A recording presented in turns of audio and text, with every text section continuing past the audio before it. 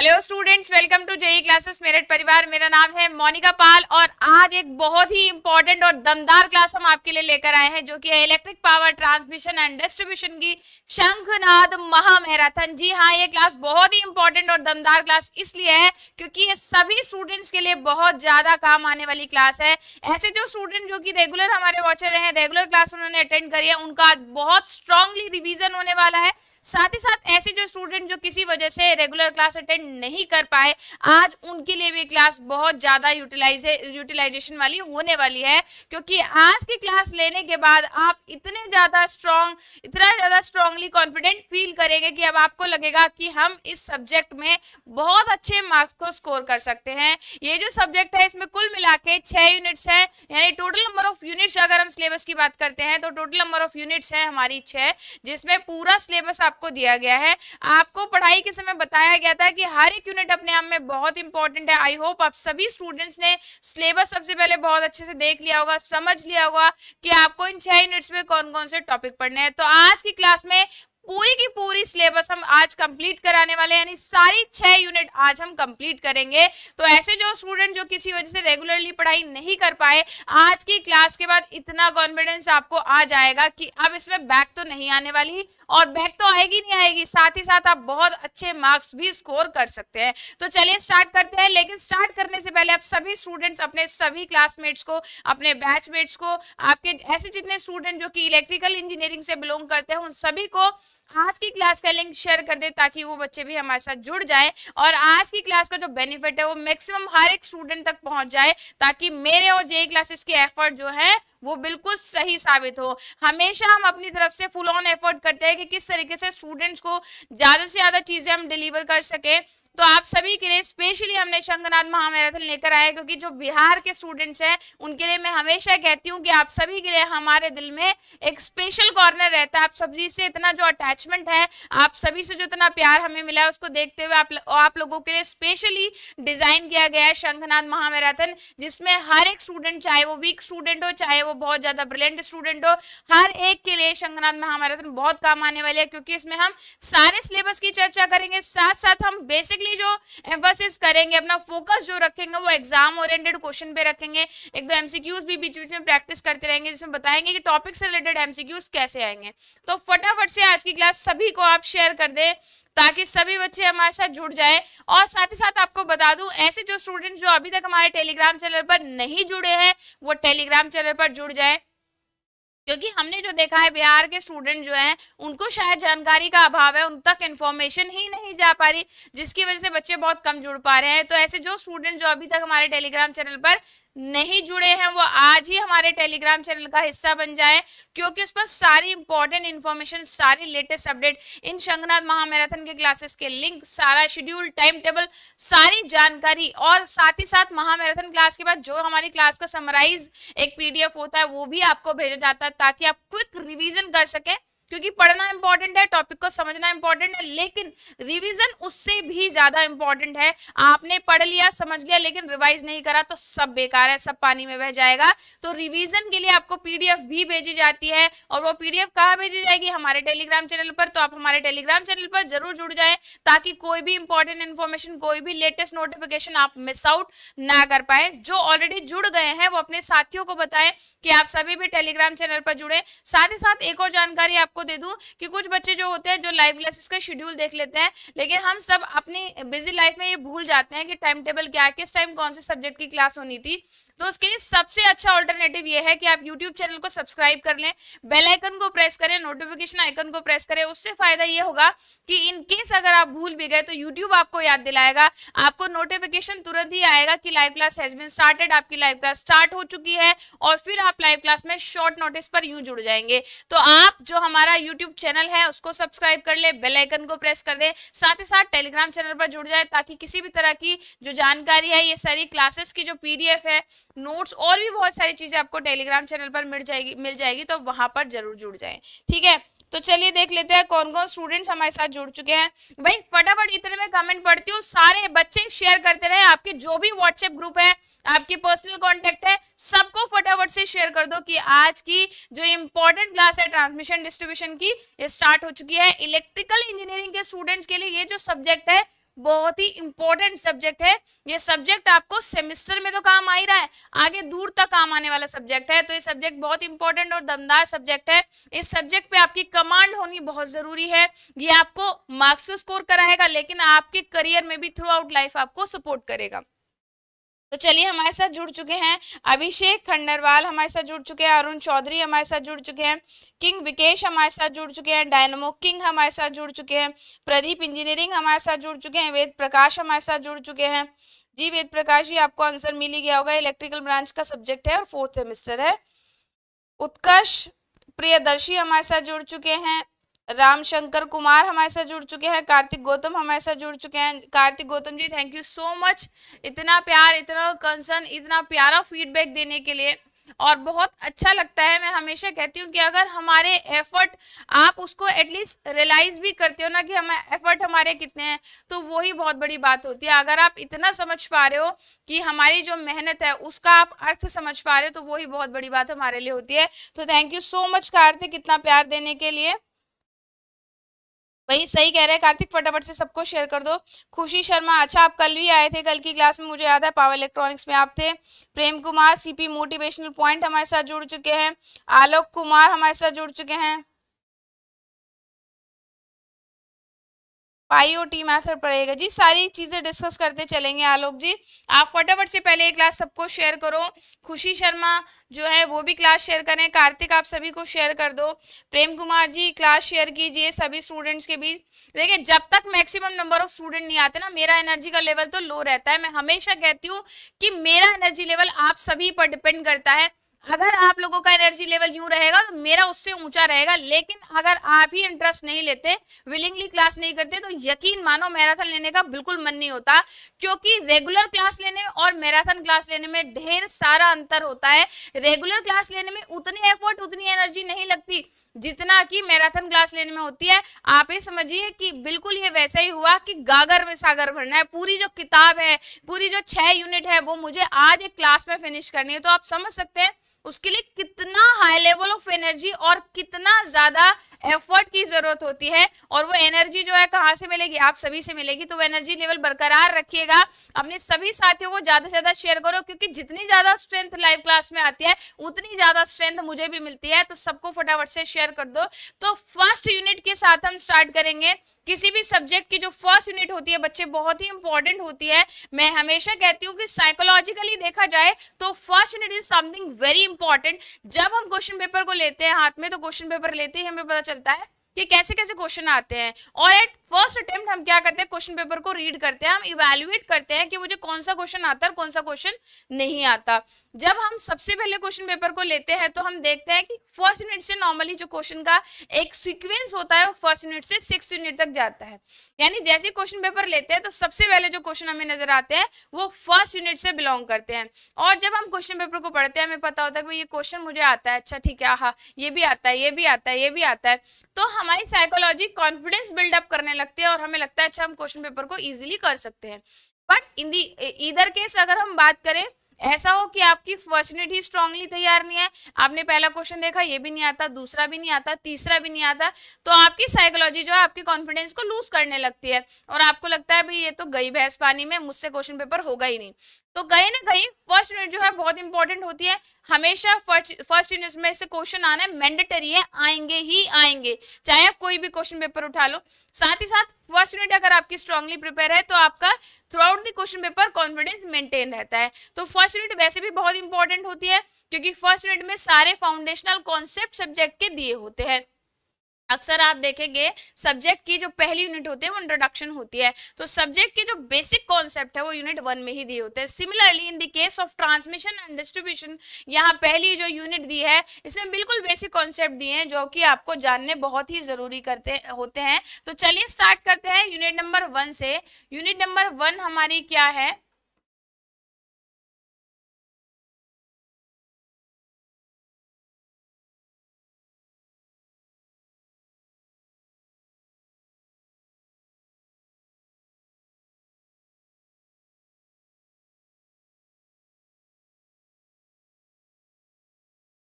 तो चलिए unit number one देखते हैं।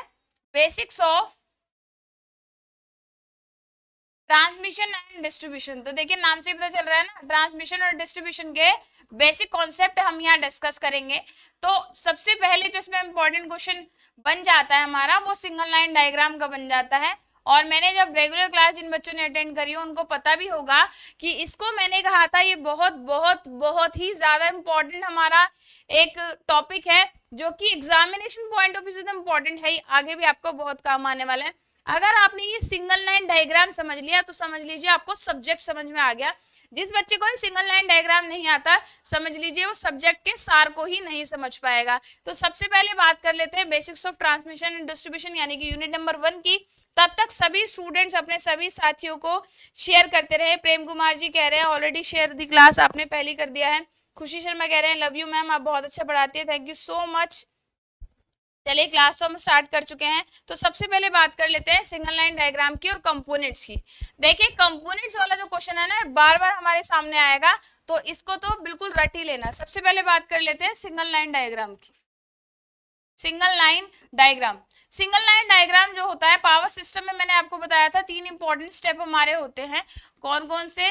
पावर सिस्टम जो है it is made up of three important step that is generation power system की अगर हम बात करते हैं तो इसमें थ्री स्टेप्स इन्वॉल्व होते हैं। कौन सा जनरेशन यानी कि जनन, फिर हमारा आता है ट्रांसमिशन यानी कि संचरण, और उसके बाद आता है डिस्ट्रीब्यूशन यानी कि वितरण।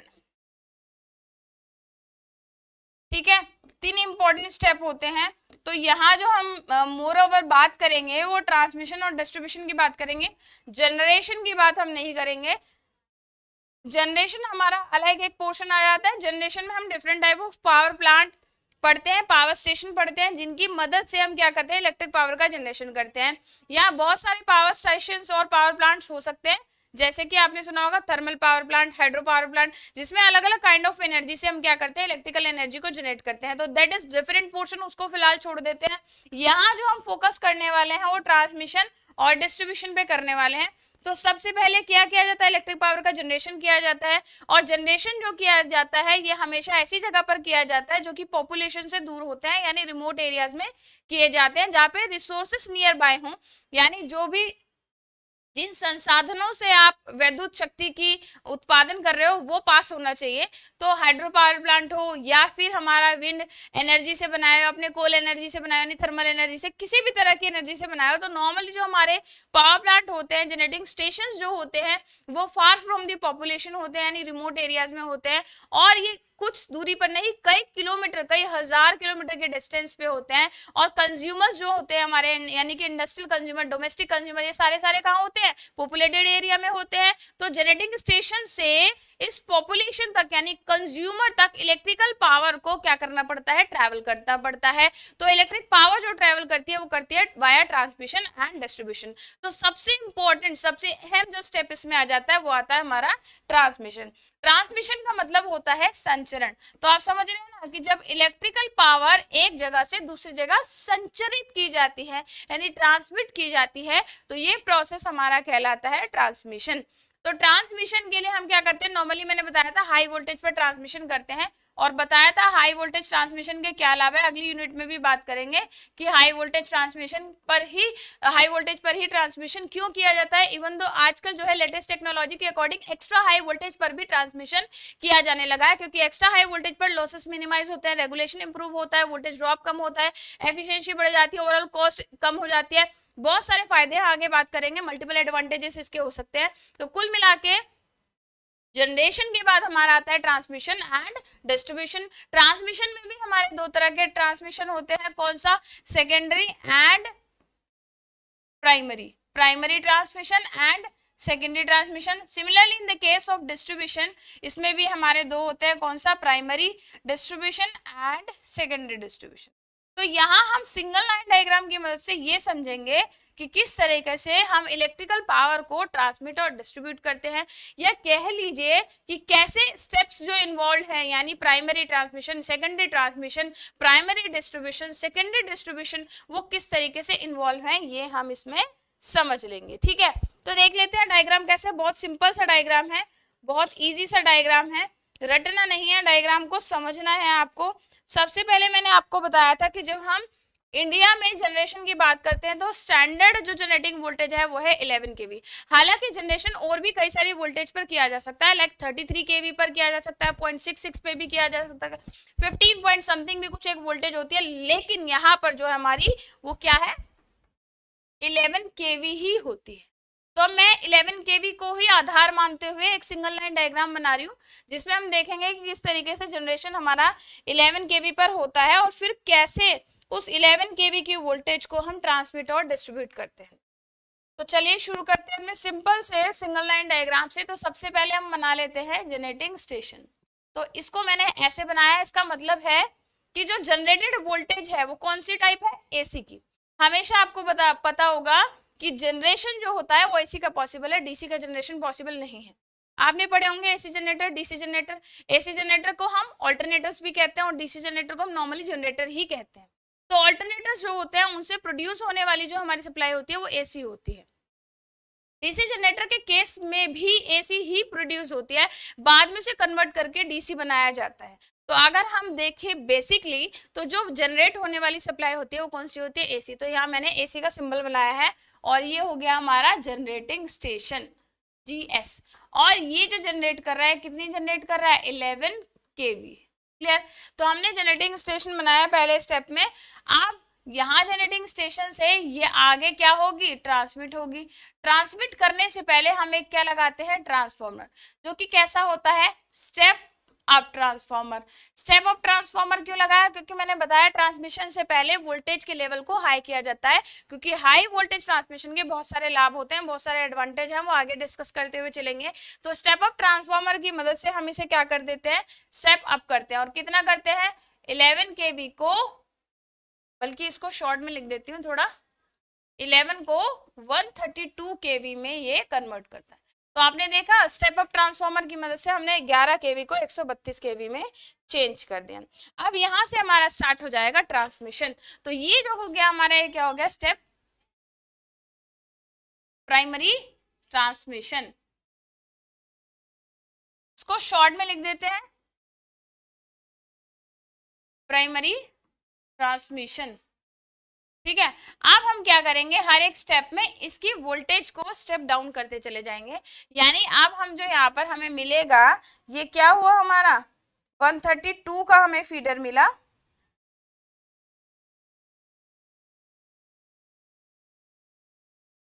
वन थर्टी टू का फीडर हमें मिला।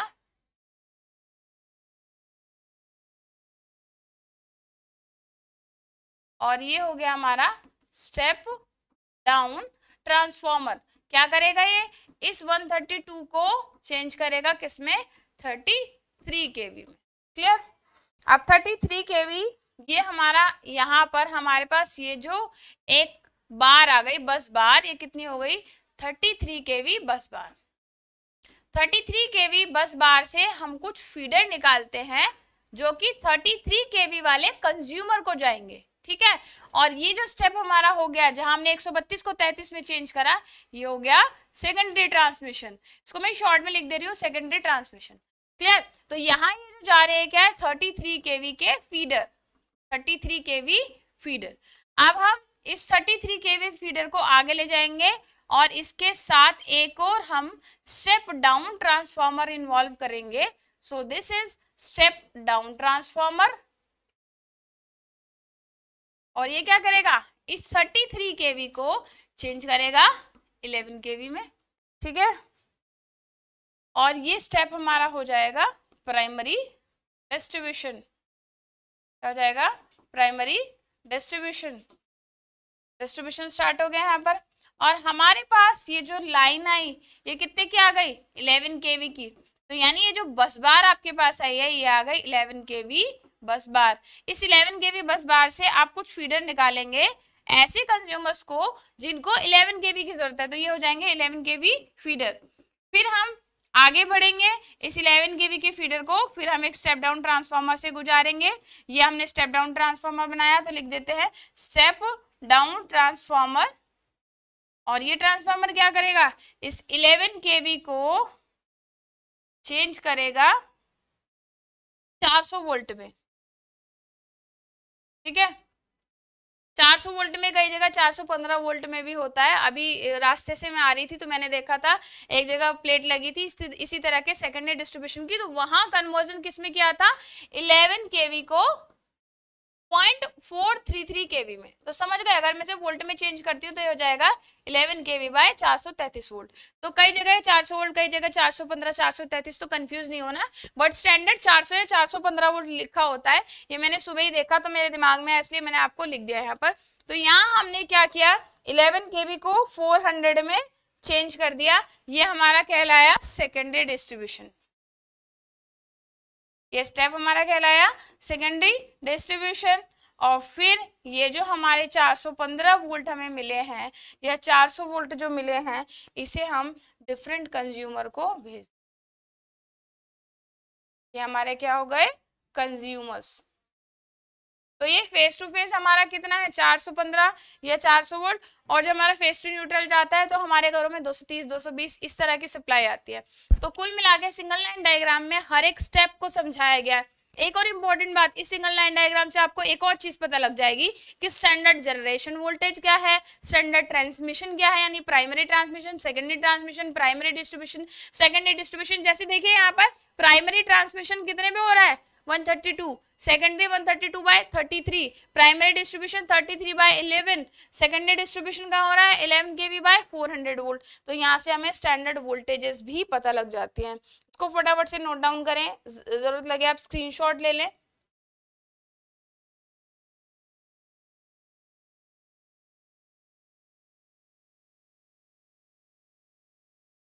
उसके बाद इसमें पूछा गया है कि हमारी जो ट्रांसमिशन लाइन है उनको किस तरीके से कैटेगराइज किया गया है? तो मैंने बताया था कि हमारी जो ट्रांसमिशन है और डिस्ट्रीब्यूशन है, दोनों को कैटेगराइज किया गया है into primary transmission and secondary transmission तो प्राइमरी ट्रांसमिशन की स्टैंडर्ड वोल्टेज की अगर बात करें प्राइमरी ट्रांसमिशन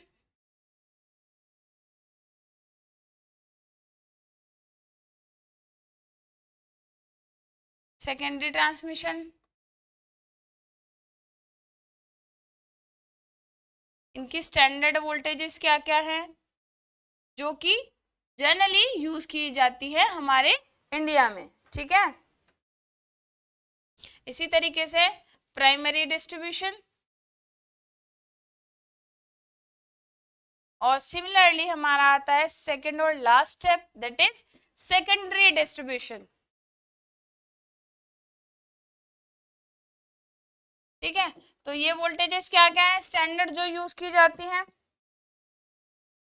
तो ये है 66 केवी 132 केवी। अभी जो हमारा एग्जांपल था, उसमें हमने 132 किया ना 11 केवी को किसमें किया था? 132 में। फिर इसमें 132 220 केवी 400 केवी भी यूज़ होता है। ये हमारे प्राइमरी ट्रांसमिशन के लिए होते हैं। सेकेंडरी ट्रांसमिशन के लिए हम thirty three K V generally use करते हैं। प्राइमरी डिस्ट्रीब्यूशन के लिए हमारा इलेवन के वी यूज़ होता है नॉर्मली और सेकेंडरी डिस्ट्रीब्यूशन के लिए चार सौ वोल्ट मैंने बताया था। चार सौ पंद्रह वोल्ट इस तरीके का हम वोल्टेज लेवल यूज़ करते हैं। तो ये हमारे स्टैंडर्ड वोल्टेजेस हैं जो कि प्राइमरी और सेकेंडरी ट्रांसमिशन और डिस्ट्रीब्यूशन में यूज़ की जाती है। इसके अलावा जब हम बात करते हैं क्लासिफिकेशन ऑफ़ ट्रांसमिशन लाइन अगला जो हमारा टॉपिक है वो है क्लासिफिकेशन ऑफ़ ट्रांसमिशन लाइन तो क्लासिफिकेशन ऑफ़ ट्रांसमिशन लाइन में आपके सिलेबस में भी दिया गया है। बाकी मैं भी आपको बता देती हूँ कि क्लासिफिकेशन जो किया जा सकता है ट्रांसमिशन लाइनों का, वो कई बिहाफ पर किया जा सकता है। जैसे कि ट्रांसमिशन लाइन में यूज़ होने वाली टाइप ऑफ़ सप्लाई पर। यानी अगर आप एसी सप्लाई को ट्रांसमिट कर रहे हो तो ये हो जाएगी एसी ट्रांसमिशन लाइन अगर आप डीसी सप्लाई को ट्रांसमिट कर रहे हो तो हो जाएगी डीसी ट्रांसमिशन लाइन इसके अलावा वोल्टेज के आधार पर भी ट्रांसमिशन लाइन का कैटेगराइजेशन किया जा सकता है, जैसे कि low voltage medium voltage high voltage extra high voltage यानी जो वोल्टेज का लेवल है ट्रांसमिशन लाइन का, वो कितना है? इस आधार पर भी आप इसको क्लासिफाई कर सकते हैं। और इसके अलावा ट्रांसमिशन लाइन की लेंथ यानी इसकी लंबाई के आधार पर भी आप इसको क्लासिफाई कर सकते हैं। अगर हम लंबाई की बात करें तो हमारी ट्रांसमिशन लाइन हो सकती है short transmission line medium transmission line short transmission line medium transmission line ये on the basis of length है, यानी लंबाई के आधार पे। और लॉन्ग डिस्टेंस की जो हमारी ट्रांसमिशन लाइन ठीक है? इसी तरह से अगर हम सप्लाई के बेसिस पर देखें तो सप्लाई के बेसिस पर हमारा हो सकता है एसी ट्रांसमिशन लाइन यानी जो एसी पावर को ट्रांसमिट करे, फिर हमारा डीसी ट्रांसमिशन लाइन यहाँ ये जो कैटेगराइजेशन किया गया है, इसमें लेंथ और वोल्टेजेस दोनों इंक्लूड होते हैं। तो 240 किलोमीटर वाली हमारी लॉन्ग ट्रांसमिशन और 80 से 240 वाली मीडियम ठीक है, और 80 तक हमारी शॉर्ट ट्रांसमिशन लाइन तो वोल्टेज और डिस्टेंस दोनों के हिसाब से हमने इनको क्लासिफाई किया है. क्लियर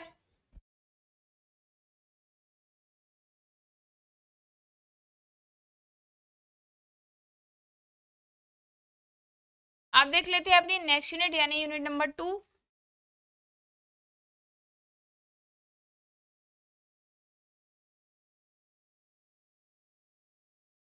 unit number two क्या है भाई? यूनिट नंबर टू है transmission line parameters and performance transmission line transmission line parameters and performance तो एक पैरामीटर के बारे में पूछा जा सकता है।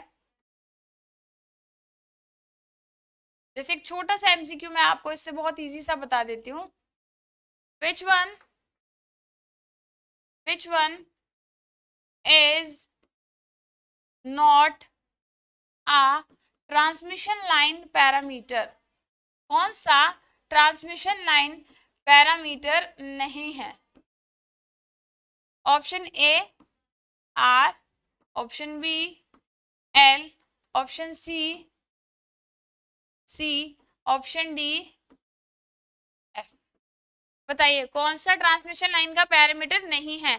याद रखना नेगेटिव अप्रोच की जो क्वेश्चन है, वो कॉम्पिटेटिव में भी बहुत पूछे जा रहे हैं कि कौन सा ट्रांसमिशन लाइन का पैरामीटर नहीं है। तो मैंने आपको बताया था ट्रांसमिशन लाइन के तीन जो इंपॉर्टेंट पैरामीटर हमारे हैं transmission line parameter transmission line parameters में हमारे तीन जो इम्पोर्टेंट पैरामीटर्स आते हैं वो कौन कौन से हैं? पहला है लाइन रेजिस्टेंस, यानी लाइन का प्रतिरोध। दूसरा है लाइन इंडक्टेंस, यानी लाइन का प्रेरकत्व तीसरा है लाइन कैपेसिटेंस, यानी लाइन की धारिता।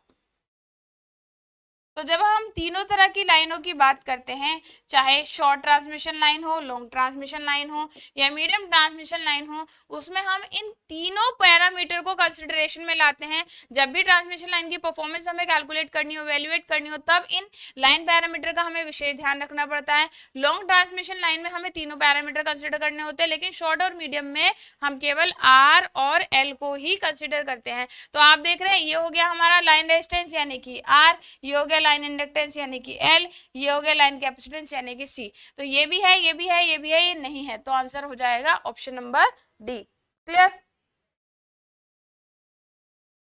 तो हमारे ये जो सारे के सारे इंपॉर्टेंट पैरामीटर हैं, ये आपको पता होना चाहिए। फिर इसमें एक और जो हमारा इंपॉर्टेंट और छोटा सा कॉन्सेप्ट आ जाता है, जो कि आपको आगे भी बहुत काम आने वाला है, वो है स्किन इफ़ेक्ट स्किन इफ़ेक्ट क्या होता है? जो यहाँ हम जो बात कर रहे हैं वो बेसिकली हम बात कर रहे हैं एसी ट्रांसमिशन लाइन की, यानी हम मान रहे हैं ट्रांसमिशन जो हो रहा है किसका हो रहा है? एसी पावर का हो रहा है। तो स्किन इफ़ेक्ट जो होता है हमारा एसी में ही एसी कंडक्टर्स में, यानी ऐसी लाइनों में होता है जहाँ की आप एसी पावर को ट्रांसमिट कर रहे हो, ठीक है?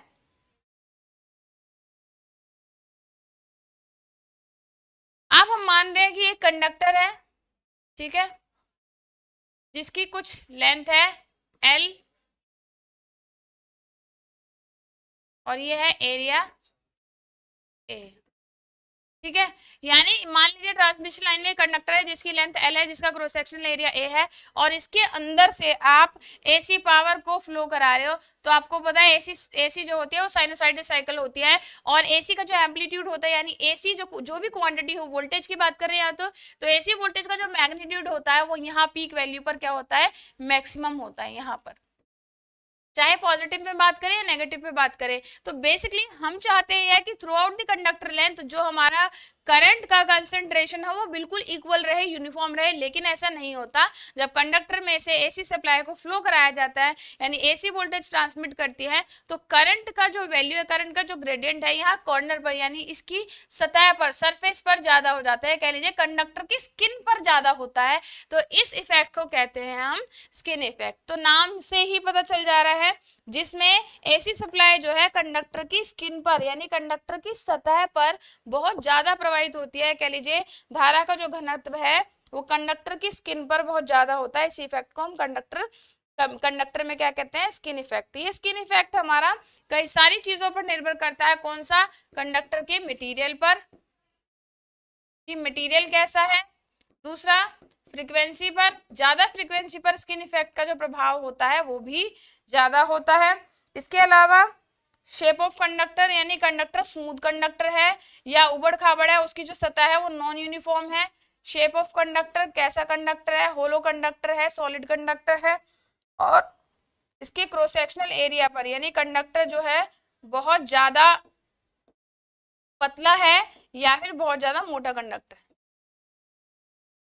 तो इन सारी चीज़ों पर स्किन इफ़ेक्ट हमारा निर्भर करता है। तो कंडक्टर के मटेरियल पर क्रॉस सेक्शनल एरिया पर। शेप ऑफ़ द कंडक्टर पर। यानी जिन इन फैक्टर्स पर ये निर्भर करता है। ठीक है? तो ये स्किन इफ़ेक्ट है और स्किन इफ़ेक्ट हमारा इन इन फैक्टर्स पर निर्भर करता है। तो स्किन इफ़ेक्ट को मिनिमाइज करने के लिए आपको ऐसा कंडक्टर लेना चाहिए जो स्मूथ हो यूनिफॉर्म उसका क्रॉस सेक्शनल एरिया हो बड़खाबड़ ना हो और फ्रिक्वेंसी का वैल्यू कम होगा तो भी स्किन इफ़ेक्ट कम होगा। इसीलिए डीसी सप्लाई के केस में यानी डीसी ट्रांसमिशन लाइन में स्किन इफ़ेक्ट ज़ीरो होता है क्योंकि डीसी सप्लाई में फ्रिक्वेंसी ज़ीरो होती है तो स्किन इफ़ेक्ट भी हम कंसिडर नहीं करते। तो एट लोअर फ्रिक्वेंसी अगर आपकी आवृत्तियों का मान निम्न है तो आप स्किन इफ़ेक्ट को नेग्लिजिबल मान सकते हो। लेकिन जो हमारी स्टैंडर्ड फ्रिक्वेंसी है फिफ्टी हर्ट्स या उससे हायर फ्रिक्वेंसी के लिए आपको स्किन इफ़ेक्ट में स्किन इफ़ेक्ट को कंसिडरेशन में लेना पड़ेगा। नेक्स्ट है हमारा प्रॉक्सिमिटी इफ़ेक्ट प्रॉक्सिमिटी इफ़ेक्ट यानी कि सामीप्य प्रभाव।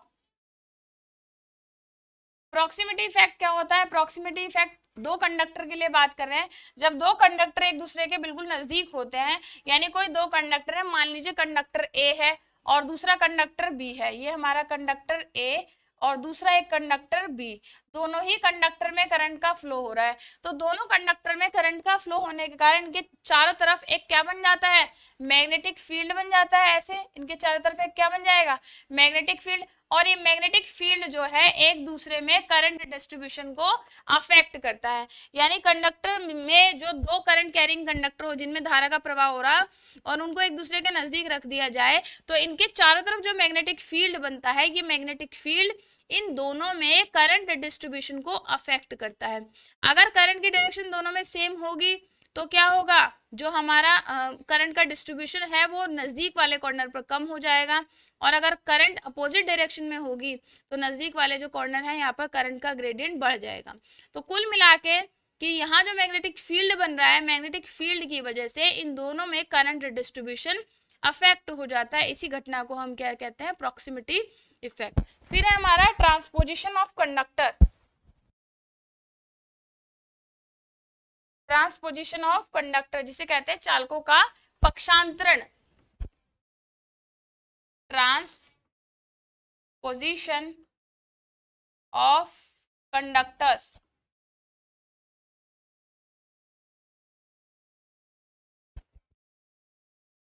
transposition of conductor होता क्या है कि जब कंडक्टर की एक तिहाई लेंथ को फिजिकली हम इस तरीके से रोटेट करें कि चालक अपनी पूरी लंबाई में, जैसे मान लिया हमने, हम थ्री फ़ेज़ की बात कर रहे हैं तो पहला वो यहाँ आएगा, दूसरा वो यहाँ आएगा, और तीसरा वो यहाँ आएगा। तो पहली स्थिति में यहाँ था, दूसरी में यहाँ, तीसरी में यहाँ। इसी तरीके से अगर हम दूसरा चालक बनाए वाय बनाए तो यहाँ ये हमारा बीच में आएगा फिर ये यहाँ और ये चला जाएगा यहाँ। ये वाई हो गया। इसी तरीके से बी बनाएँगे। तो यहाँ बी सबसे निचले से शुरू होगा। और यहाँ टॉप पे आ जाएगा। और यहाँ आ जाएगा मिड में। तो आप देख रहे हैं, ये वाला हमारा, इस एक तिहाई पूरी लंबाई कितनी थी? हमारी एल और ये एल बाय थ्री तो ये एक तिहाई लंबाई में सबसे ऊपर, फिर यहाँ मध्य में या सबसे नीचे। सिमिलरली यहाँ ये मिडिल में है, यहाँ बॉटम में चला गया है टॉप पर। यहाँ ये बॉटम में है टॉप पर और मिडिल में। तो तीनों जो हमारे कंडक्टर हैं, वो वन बाय वन अपनी पोजीशन चेंज करते हैं। तो बेसिकली कंडक्टर का जो फ़िज़िकल रोटेशन है, यही हमारा क्या कहलाता है? ट्रांसपोजिशन ऑफ़ कंडक्टर कहलाता है। और ये क्यों किया जाता है? म्यूचुअल इंडक्टेंस कैपेसिटेंस और इंटरफेरेंस इफ़ेक्ट को कम करने के लिए हम ऐसा करते हैं।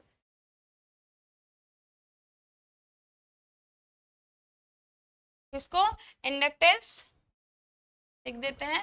इंडक्टेंस कैपेसिटेंस और इंटरफेरेंस को कम करने के लिए। इंडक्टेंस इंटरफेरेंस इनको कम करने ये हो गया हमारा ट्रांसपोजिशन ऑफ़ कंडक्टर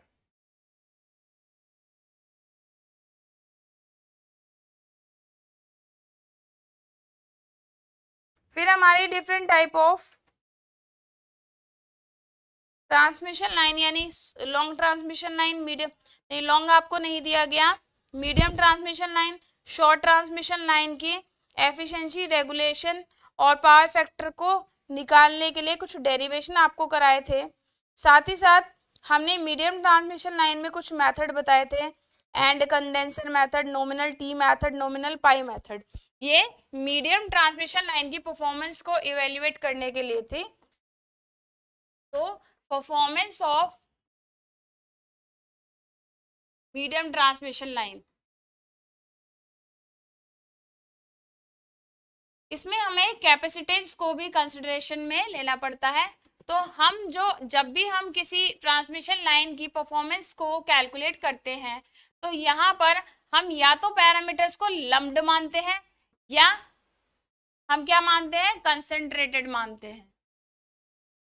यानी कि या तो आप पैरामीटर को किसी एक बिंदु पर संकेंद्रित मानते हैं कि एक पॉइंट पर ही हमारे कंसंट्रेटेड है, या आप लम्ड पैरामीटर मानते हैं थ्रू आउट द लेंथ आपके डिस्ट्रीब्यूटेड है। तो यहाँ हम क्या कर रहे हैं कंसंट्रेटेड लेंगे मीडियम में, कि हम मानेंगे कि जो हमारा कैपेसिटेंस है, वो किसी एक बिंदु पर कार्यरत है। तो इसके जो मेथड है, वो तीन मेथड है end condenser method T method end pi method कौन सा? एंड कंडेंसर मेथड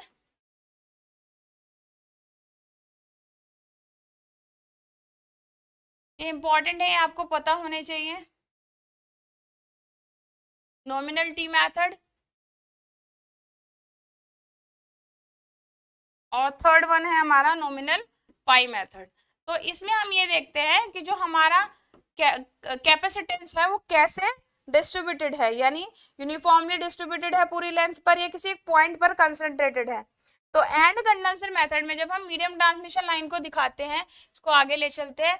जब हम मीडियम ट्रांसमिशन लाइन को दिखाते हैं तो हम इसमें दिखाते हैं आर यानी कि रेजिस्टेंस एक्सएल यानी कि हमारा रिएक्टेंस ड्यू टू इंडक्टेंस तो आर हो गया एक्सएल हो गया। अब यहाँ पर हम दिखाते हैं लोड जो भी हमारा लोड कनेक्टेड होगा आउटपुट साइड ठीक है? इस तरीके से। अब यहाँ पर जो कैपेसिटेंस है, उसको कैसे प्रदर्शित किया जाए, इसके हिसाब से एंड कंडेंसर मेथड देख लेते हैं, क्या होता है। तो एंड कंडेंसर मेथड में हम मानते हैं कि जो हमारा कैपेसिटेंस है, वो एंड साइड यानी कि लोड की तरफ़ ही कंसंट्रेटेड है। तो यहाँ पर हम मानते हैं सी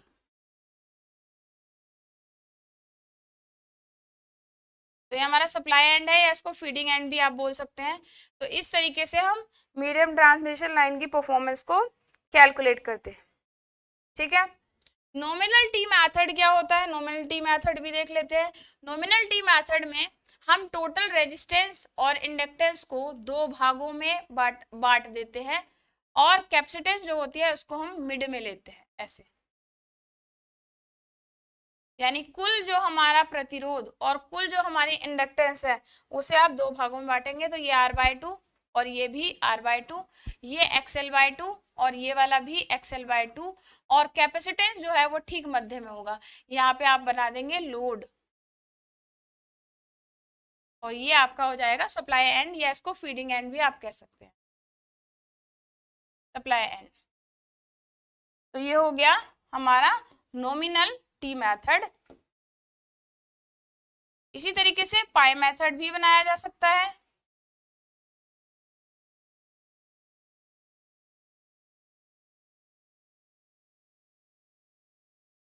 इसके बाद देख लेते हैं हमारा नॉमिनल पाई मेथड क्या होता है। तो पाई मेथड में हम पाई फॉर्म में जोड़ेंगे। पाई फॉर्म में यानी कैपेसिटेंस को दो भागों में बांटा हुआ मानेंगे। ठीक है? तो एक तरफ़ यानी सेंडिंग एंड पर भी हो जाएगा हमारा कैपेसिटेंस ये आर ये एक्सएल एक कैपेसिटर यहाँ मानेंगे आप सी बाई टू यानी आधा जो कैपेसिटेंस है वो यहाँ और आधा कैपेसिटेंस यहाँ कंसंट्रेटेड है। तो ये सप्लाई एंड और यहाँ हमारा लोड तो ये हो गया हमारा नोमिनल पाई मेथड तो मीडियम ट्रांसमिशन लाइन की परफॉर्मेंस को कैलकुलेट करने के लिए तीन मेथड हैं। हमारा end condenser method nominal T method और नॉमिनल पाई मेथड ठीक लास्ट में इसमें एक छोटा सा इफ़ेक्ट इस यूनिट में बचता है, वो है पेरेंटी इफ़ेक्ट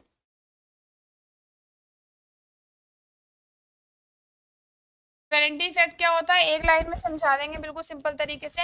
जब sending end voltage less than हो जाए रिसीविंग एंड वोल्टेज की, या इसको ऐसे लिख सकते हैं, और करके।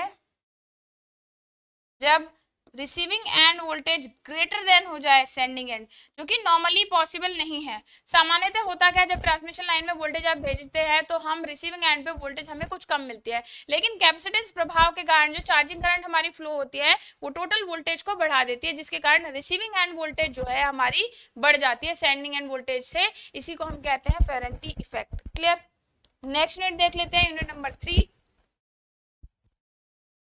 unit three extra high voltage, यानी कि E H V transmission. E H V या इसको शॉर्ट में ना लिख के ऐसे लिखते हैं, extra high voltage transmission.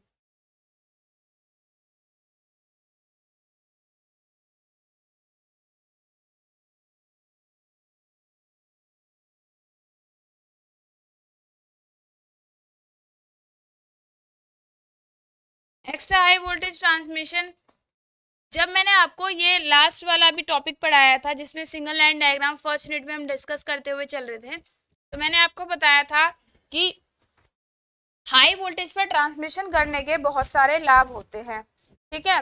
जब हम एक्स्ट्रा हाई वोल्टेज की बात करते हैं तो हमारी नॉर्मली सात सौ पैंसठ वोल्ट सात सौ पैंसठ किलो वोल्ट तीन सौ किलो वोल्ट इनसे अधिक की जो हमारी वोल्टता होती है, वो ई एच वी यानी एक्स्ट्रा हाई वोल्टेज इसमें कंसिडर की जाती है। अब बात कर लेते हैं एक्स्ट्रा हाई वोल्टेज की ज़रूरत ही क्या पड़ी। इसके कुछ एडवांटेजेस होंगे, इसके कुछ अपने लाभ होंगे। तो मैंने बताया था, इस पर हमारी क्या होती है लोअर करंट करंट का वैल्यू कम हो जाता है, क्योंकि जब हम P equals to V I cos phi के अनुसार बात करते हैं। अगर हमारा P भी कैसा हो कांस्टेंट हो, अगर हमारा ये कॉस फाइव यानी पावर फैक्टर भी कैसा हो कांस्टेंट हो तो अकॉर्डिंग टू दिस हम कह सकते हैं I equals to inversely proportional to voltage यानी वोल्टेज का मान जितना ज़्यादा होगा, धारा का मान उतना कम होगा। तो पहला लोअर करंट यानी धारा का मान कम हो जाता है, जिससे साइज़ ऑफ़ कंडक्टर करंट कम होगी तो आपको कम मोटे कंडक्टर की ज़रूरत होगी, यानी पतले कंडक्टर से ही आपका काम चल जाएगा। और ऐसा करने से और क्या क्या फ़ायदे होंगे? जो हम वोल्टेज की बात करते हैं, अगर हम वोल्टेज को बढ़ाएँगे, पावर और वोल्टेज में अगर आप संबंध देखो तो इनवर्स प्रोपोर्शनल है, यानी आप मोर पावर को ट्रांसमिट कर सकते हैं, more power can be transmitted. उसके बाद अगर हम एक और एडवांटेज की बात करते हैं तो power losses can be minimise power losses कम हो जाएँगे। क्यों कम हो जाएँगे? क्योंकि धारा का मान कम हो गया और P equals to I R I square R हमारे पावर लॉसेस होते हैं। तो जब आई का मान कम हो गया पावर लॉसेस कम हो गए लॉसेस कम हो गए तो एफिशिएंसी विल बी इम्प्रूव्ड हमारी दक्षता बढ़ जाएगी। दक्षता बढ़ जाएगी, इसके अलावा और क्या फ़ायदा होगा? वोल्टेज ड्रॉप रिड्यूस हो जाएगा, हम चाहते हैं वोल्टेज ड्रॉप कम से कम हो, और V इजिकल्स टू क्या होता है? आई आर के होता है वोल्टेज ड्रॉप जो होता है हमारा वोल्टेज ड्रॉप यहाँ पे भी लिख देती हूँ, आप बाद में समझ नहीं पाएँगे। पावर लॉस, वोल्टेज ड्रॉप कम हो गया, वोल्टेज ड्रॉप कम हो गया तो रेगुलेशन इंप्रूव हो गया, रेगुलेशन, बेटर रेगुलेशन बेहतर रेगुलेशन आप प्राप्त कर सकते हैं और आप कह सकते हैं कुल मिला के परफॉर्मेंस बढ़ जाएगी। और इसके अलावा कंडक्टर का जो साइज़ रिड्यूस हुआ, इससे कंडक्टर का वेट कम हुआ। कंडक्टर का वेट कम हुआ तो सेविंग ऑफ़ कॉपर हुई मटेरियल की बचत हुई। Saving of copper saving of copper या एल्यूमिनियम जो भी आपने कंडक्टर लगाया सेविंग ऑफ़ मटीरियल हुई। इसके अलावा ओवरऑल इकोनॉमिक ये हो गया, क्योंकि इसमें बहुत सारी जो आपने चीज़ें लगानी थी, क्योंकि जब कंडक्टर पतला हो जाएगा तो आपको सपोर्ट भी कम लगाने पड़ेंगे, कम स्ट्रेंथ के लगाने पड़ेंगे, जिससे आपकी कुल मिला के सारी ही बचत हो जाएगी। तो ये जो पॉइंट्स हैं बहुत इंपॉर्टेंट है, दस ग्यारह पॉइंट है आपको सिलेबस जो है उसमें आप देख सकते हैं advantage of extra high voltage तो एक्स्ट्रा हाई वोल्टेज के बहुत सारे लाभ होते हैं, ठीक है?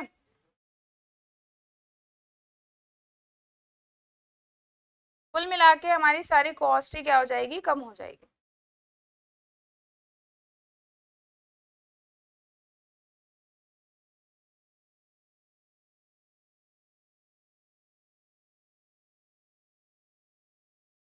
बेटा डेरिवेशन जो है आलोक कुमार, इसके बहुत लॉन्ग है।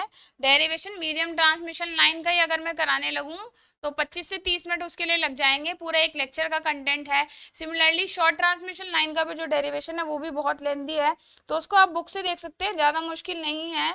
कुल मिला के जो मेथड्स मैंने आपको बताए हैं पाई मेथड आलोक, आपने ही स्पेशली कहा था कि आपको ये मेथड बताया जाए। Nominal pi method nominal T method मुझे याद है, मैंने शुरुआत में ही आपका कमेंट पढ़ लिया था। तो अलग स्पेशली मैंने टी मेथड पाई मेथड कराए। तो जब हम मीडियम ट्रांसमिशन लाइन की परफॉर्मेंस को कैलकुलेट करने करने पर आते हैं तो हमें आर एल सी तीनों को कंसिडरेशन में लेना पड़ता है, जहाँ हमारा कैपेसिटेंस जो है, नया पैरामीटर आ जाता है, जो कि शॉर्ट ट्रांसमिशन लाइन में हमने कंसिडर नहीं किया था। तो मीडियम ट्रांसमिशन लाइन में इसलिए तीन जो हमारे मैथड दिए हैं इंपॉर्टेंट इसलिए हो जाते हैं, क्योंकि शॉर्ट ट्रांसमिशन लाइन में हम कैपेसिटिव इफ़ेक्ट को नेग्लिजिबल मान लेते हैं, लेकिन मीडियम ट्रांसमिशन लाइन में हमें इन्हें कंसिडर करना पड़ता है, इसलिए हमने तीन मेथड जो है, end condenser method, pi method और टी मेथड आपको समझाए। ठीक है?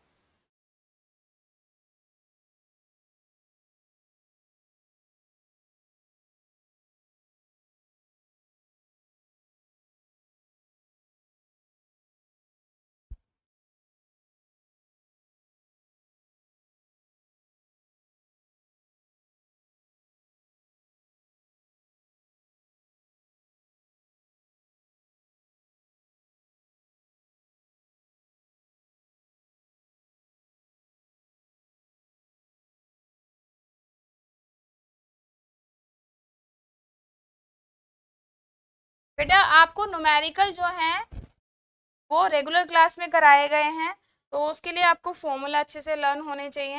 मैराथन क्लास में फटाफट टोटल कॉन्सेप्ट जो है आपको कराया जा रहा है तो अगर आप ज़्यादा डिटेल चीज़ें चाहते हो तो वो सब आपको एप्लीकेशन पर मिल जाएगी, वहाँ पर आप चेक कर सकते हो, ठीक है?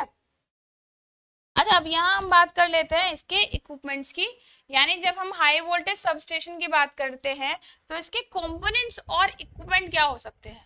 Components of extra high voltage substation. ठीक है? High voltage substation components components of high voltage substation तो ये मैंने कहा था आपको काफ़ी बार काम आने वाले हैं या आगे भी हमारे एक यूनिट में शायद दिए गए हैं। वहाँ पे आप देखेंगे तो एक्स्ट्रा हाई वोल्टेज हो, चाहे नॉर्मल हाई वोल्टेज हो, चाहे कैसी भी वोल्टेज हो तो कुछ कंपोनेंट्स हमारे इंपॉर्टेंट होते हैं। जैसे सबसे पहले हम बात कर लेते हैं पहली चीज़ हमें चाहिए होती है पावर ट्रांसफॉर्मर मैंने आपको बताया था कि जब हम बात करते हैं ट्रांसमिशन और डिस्ट्रीब्यूशन की तो यहाँ एक चीज़ बार बार आप देख रहे थे या तो वोल्टेज को स्टेप अप किया जा रहा था, या वोल्टेज को स्टेप डाउन किया जा रहा था। तो वोल्टेज को एसी वोल्टेज को स्टेप अप स्टेप डाउन जो करते हैं, वो आप किसकी मदद से करते हैं? पावर ट्रांसफार्मर की मदद से करते हैं। तो किसी सबस्टेशन में पावर ट्रांसफार्मर जो होता है, वो बहुत ही इंपॉर्टेंट हमारा एक कंपोनेंट होता है। दूसरा, बस बार आपने देखी थी, जब हम एक कॉमन प्लेस जहाँ से हम वोल्टेज को लेते हैं, वो हमारा क्या कहलाता है बस बार। बस बार किसी कंडक्टिंग मटेरियल की बनी होती है, जो कि नॉर्मल कॉपर की भी बनी हो सकती है एल्यूमिनियम की भी बनी होती है। इसके अलावा फीडर आपने देखे बेसिकली जो कंडक्टर होता है, जिसकी हेल्प से आप इलेक्ट्रिक पावर को ट्रांसमिट और डिस्ट्रीब्यूट करते हो, वो हमारा फीडर कहलाता है। और प्रोटेक्शन के लिए हम कई सारे इंसुलेटर भी यूज़ करते हैं तो बुशिंग इंसुलेटर ये सब हमारे यूज़ होते हैं, किसमें? हमारे सब स्टेशन में। इसके अलावा आइसोलेटर्स होते हैं जो कि डिस्कनेक्टर स्विच होते हैं। आइसोलेटर हमारे कैसे होते हैं? नो लोड सिचुएशन पे, यानी जब कोई लोड नहीं है ट्रांसमिशन लाइन पे तो उस समय ट्रांसमिशन लाइन को ऑन ऑफ़ करने के लिए हम आइसोलेटर का यूज़ करते हैं। इसके अलावा हमारे रिले होती है प्रोटेक्शन रिले लगी होती है। प्रोटेक्शन रिले लगी होती हैं। जो कि फॉल्टी कंडीशन में प्रोटेक्ट करती है। इसके अलावा फ्यूजेस लगे होते हैं स्विचेस लगे होते हैं सर्किट ब्रेकर लगे होते हैं। सर्किट ब्रेकर मैंने बताया था, एक ऑटोमेटिक डिवाइस होती है, जो कि फॉल्ट से प्रोटेक्ट करती है। तो over voltage, over current protection ये हमें प्रोवाइड करती है। साथ ही साथ शॉर्ट सर्किट से भी प्रोटेक्ट करती है। ये ऑटोमेटिकली ऑपरेटेड होती है। ये खुद ब खुद फॉल्ट को सेंस करके ऑटोमेटिकली ऑपरेट हो जाता है। इसके कॉन्टेक्ट ओपन हो जाते हैं और फॉल्टी कंडीशन में लाइन को ब्रेक कर देती है। तो सर्किट ब्रेकर भी हमारा यूज़ होता है और सर्किट ब्रेकर जो है कई प्रकार के हमारे हो सकते हैं। कई तरह के सर्किट ब्रेकर यूज़ किए जाते हैं। तो अगर हम देखें पावर ट्रांसफार्मर लगे होते हैं बस बार लगी होती है फीडर इंसुलेटर लगे होते हैं आइसोलेटर और इसके अलावा हमारे मेजरिंग इंस्ट्रूमेंट मेजरिंग इंस्ट्रूमेंट्स हमारे लगे होते हैं। बल्कि इससे पहले अगर देखा जाए तो हम सी टी पी टी का इस्तेमाल करते हैं। C T and P T यानी current transformer and potential transformer इसके अलावा other measuring and indicating instrument हमारे लगे होते हैं। तो बहुत सारी चीज़ें सब स्टेशन पे लगी होती है। इसके अलावा लाइटनिंग अरेस्टर भी लगा होता है। जब हम हाई वोल्टेज की बात करते हैं तो हाई वोल्टेज में हम जो सर्ज होती है, यानी आसमान से गिरने वाली बिजली जो होती है, उनसे प्रोटेक्ट करने के लिए सर्ज एब्जॉर्बर और लाइटनिंग अरेस्टर भी लगाते हैं। ये सब भी लगे होते हैं हमारे, ये सब स्टेशन का ही हिस्सा होते हैं। तो ये सारे हमारे बहुत सारे कंपोनेंट्स और इक्विपमेंट होते हैं जिनका यूज़ हम सब स्टेशन पर करते हैं।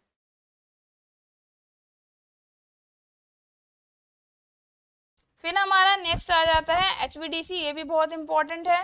एच एच भी बहुत इंपॉर्टेंट है।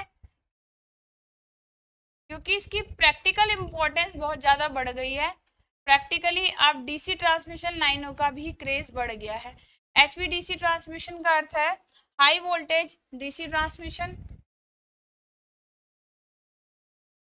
high voltage DC transmission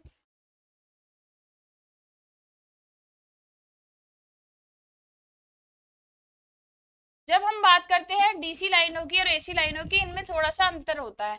हमने जो बहुत सारे इफ़ेक्ट पढ़े हैं, जैसे कि स्किन इफ़ेक्ट स्किन इफ़ेक्ट जो होता है, वो हमारा एसी लाइनों में होता है डीसी में नहीं होता।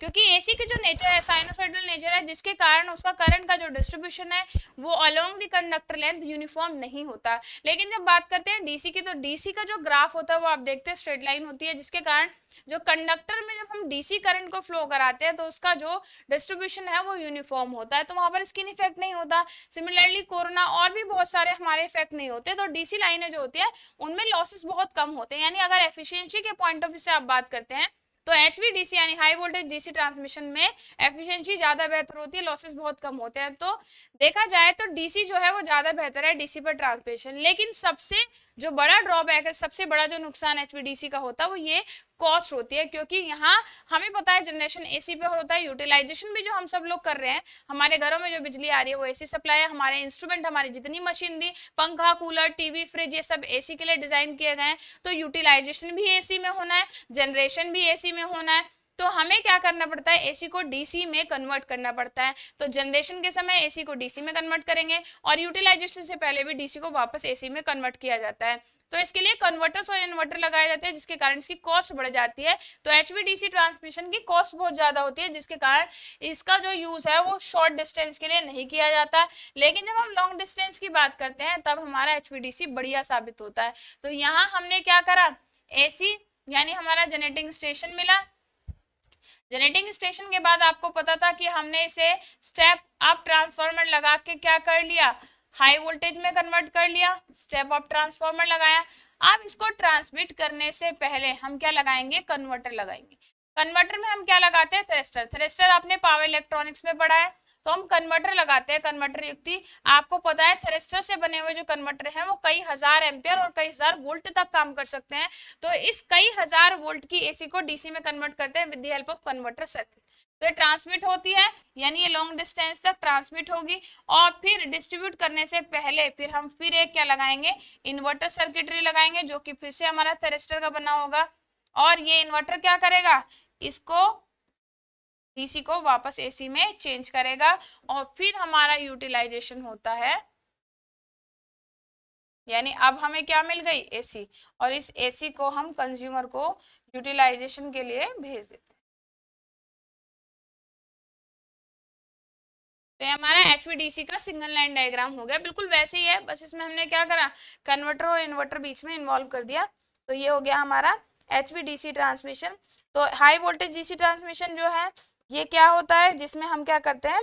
डीसी वोल्टेज को ट्रांसमिट करते हैं। तो इसमें हमें क्या चाहिए? कन्वर्टर चाहिए होते हैं। इसके कंपोनेंट अगर बात करें, इसमें हमें क्या क्या कंपोनेंट चाहिए होंगे? कंपोनेंट्स क्या क्या चाहिए? इसमें कंपोनेंट्स चाहिए आपको। कन्वर्टर सर्किट चाहिए। इन्वर्टर चाहिए। स्मूदनिंग रिएक्टर चाहिए। ये स्मूदनिंग रिएक्टर क्या करते हैं? स्मूथली एसी को डीसी में और डीसी को एसी में चेंज करने का कार्य करते हैं। स्मूदनिंग रिएक्टर्स चाहिए।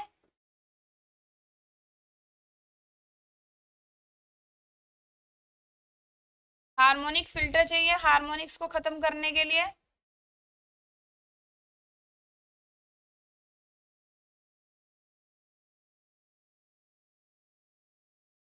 और डीसी को ट्रांसमिट करने के लिए हमें स्पेशली डीसी को ट्रांसमिट करने वाले डीसी केबल्स रिक्वायर्ड होते हैं।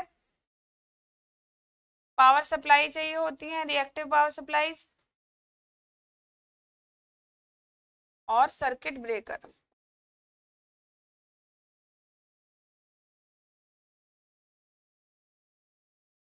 तो ये हमारे components of HVDC transmission line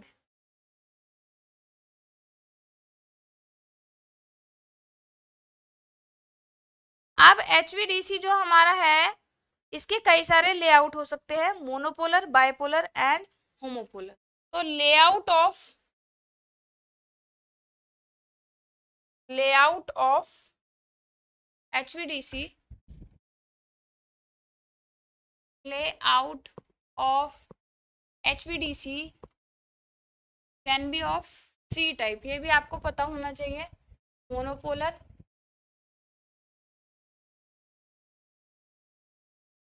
दूसरा है बाइपोलर और तीसरा है होमोपोलर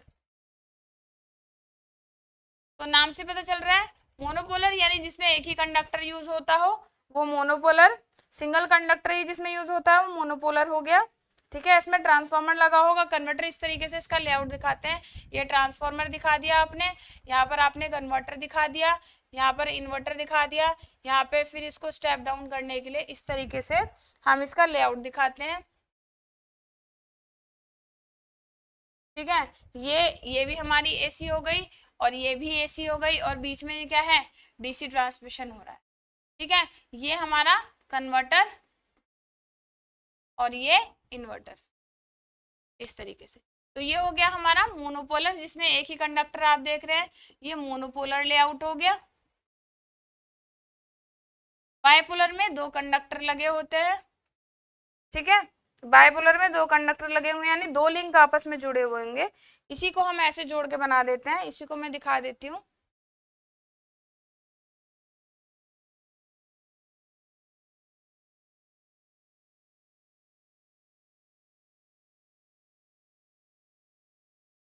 इस तरीके से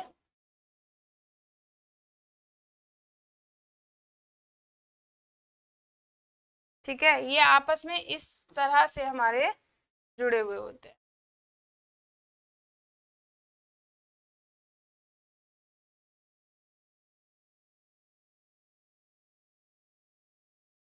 तो ये हम, ये हमारा हो गया बाइपोलर यानी जिसमें दो कंडक्टर आप देख रहे हैं यूज़ हो रहे हैं। ठीक है?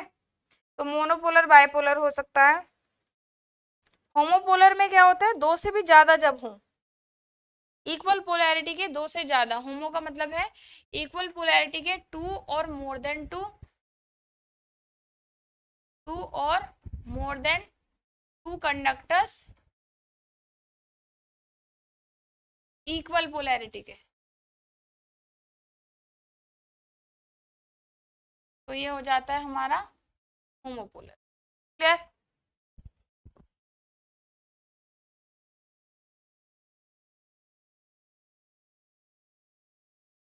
इनका कंपैरिजन दिया गया बहुत इंपॉर्टेंट है। कंपैरिजन दिया गया एचवीएसी और एच का बहुत ज़रूरी है। इसको भूलना नहीं है बिल्कुल भी। Comparison of H and HVAC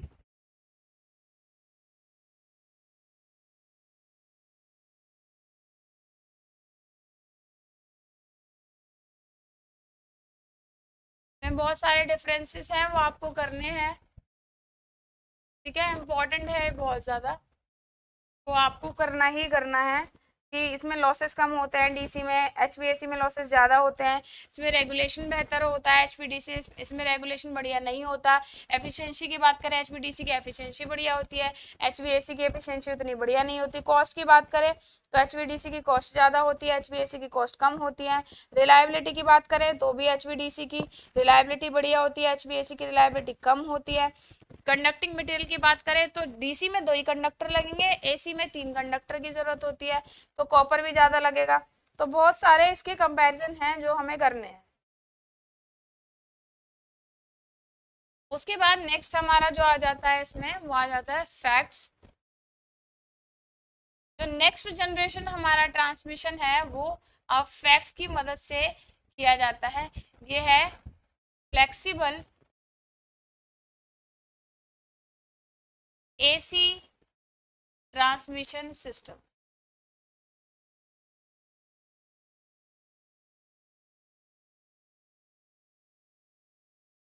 को शॉर्ट में कहते हैं फैक्ट्स ये भी हमारा इम्पोर्टेंट टॉपिक है बहुत ज़्यादा।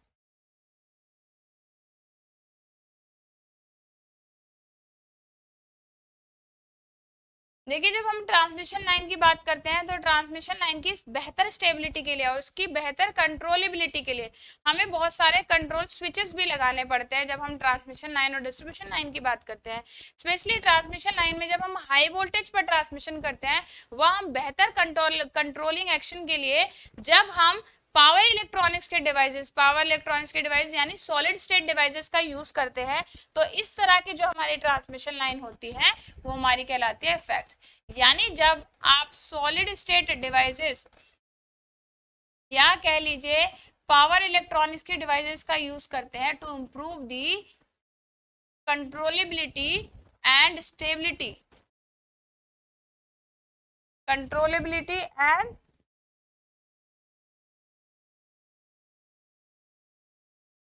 and stability इसको बेहतर करने के लिए जब आप इन कंपोनेंट्स का यूज़ करते हैं along with the transmission line तभी हमारा कहलाता है क्या? फैक्ट्स फैक्ट्स जो हैं कंट्रोलिंग के बेस पर हमारे कई तरह के हो सकते हैं, जैसे कि सीरीज़ कंट्रोलर शंट कंट्रोलर ये इसके कनेक्शन के बेसिस पे दिया गया है। जब आपकी कंट्रोलिंग डिवाइस सीरीज़ में लगाई गई हो तो सीरीज़ कंट्रोलर शंट में लगाई गई हो तो शंट कंट्रोलर और सीरीज़ सीरीज़ में लगाए गए हो दोनों। तो सीरीज़ सीरीज़ कंट्रोलर और चौथा हमारा जो आता है, वो आता है इसमें सीरीज़ शंट कंट्रोलर तो चार तरह के हमारे इसमें कंट्रोलर्स होते हैं। फैक्ट में। ठीक है? तो इसमें हम नॉर्मली थ्रेस्टर का भी यूज़ करते हैं क्योंकि थ्रेस्टर का सबसे बड़ा बेनिफिट ये है थ्रेस्टर की रेटिंग बहुत ज़्यादा हाई होती है।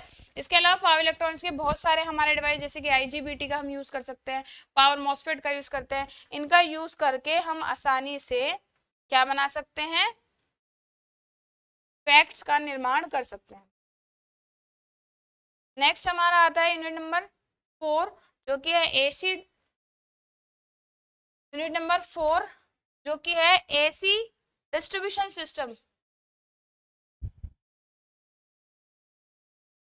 unit number four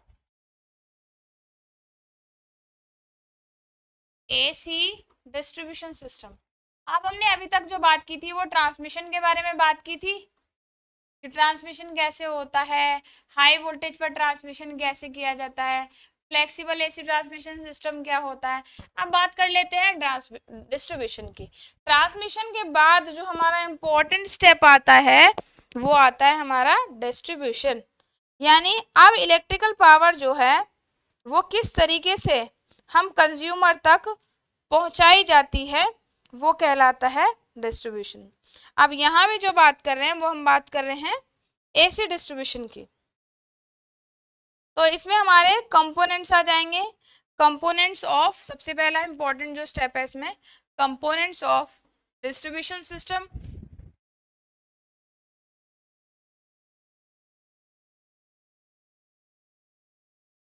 हालाँकि इसमें भी हमारा डिस्ट्रीब्यूशन ट्रांसफार्मर आता है कंडक्टर आते हैं, लेकिन तीन जो हमारे कंपोनेंट्स जो कि बहुत इंपॉर्टेंट है इस डिस्ट्रीब्यूशन सिस्टम में, वो है distributor feeder and service means तो कौन कौन से हैं?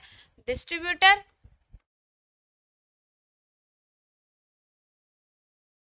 Feeder and service means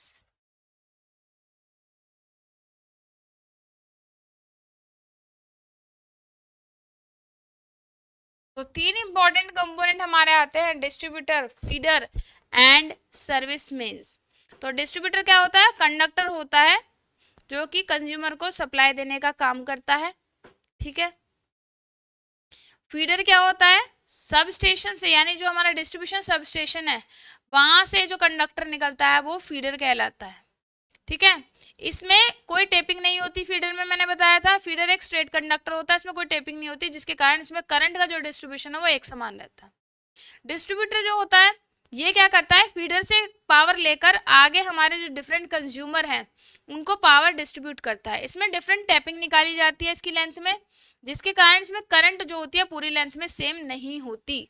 service main जो होती हैं, हमारे जो डिस्ट्रीब्यूटर से मिलने वाली पावर को कंज्यूमर के मीटर तक एनर्जी मीटर तक जो पावर पहुंचाता है, वो हमारा कहलाता है सर्विस मेन्स अब अगर हम बात करते हैं क्लासिफिकेशन ऑफ़ डिस्ट्रीब्यूशन सिस्टम की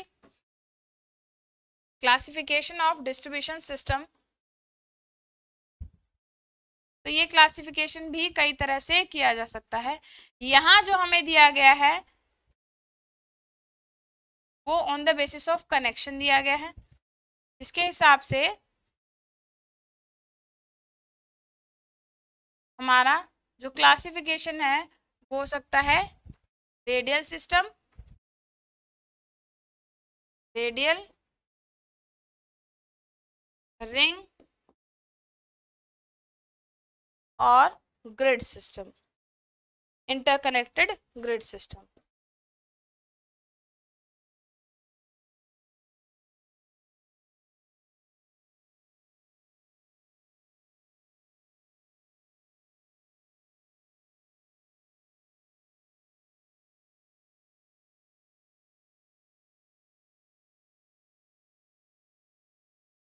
अब रिलायबिलिटी को बरकरार रखने के लिए कि हमारा रिलायबिलिटी बेहतर रहे। ठीक है? यानी अन अनइंटरप्टेडली हमारे जितने भी कंज्यूमर हैं, उन सभी को पावर मिलती रहे।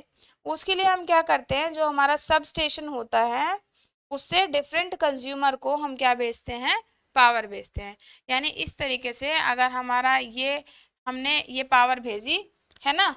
तो ये हमारी जो पावर जा रही है वो किसी घर को या किसी घर को इस तरीके से कई सारे घरों को पावर जा रही है। तो आप देख रहे हैं यहाँ पर सीधी रे, रेखा में एक ही दिशा में एक ही अक्ष में पावर का ट्रांसफ़र हो रहा है रेडियली हो रहा है तो इसको हम कहते हैं रेडियल सिस्टम लेकिन जब हम रिंग सिस्टम की बात करते हैं जब हम कई तरह के फीडर को आपस में एक रिंग के फॉर्मेशन में जोड़ दें यानी ऐसे जोड़ दें एक हमारा ये हो गया ठीक है? एक यहाँ से ले लेते हैं और एक यहाँ से ले लेते हैं और एक यहाँ से ले लेते हैं। इस तरीके से हमने कई सारे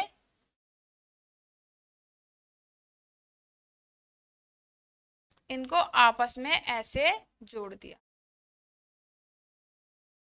तो ये हो गया हमारा रिंग। यानी मिलकर एक एक क्लोज लूप बना रहे हैं।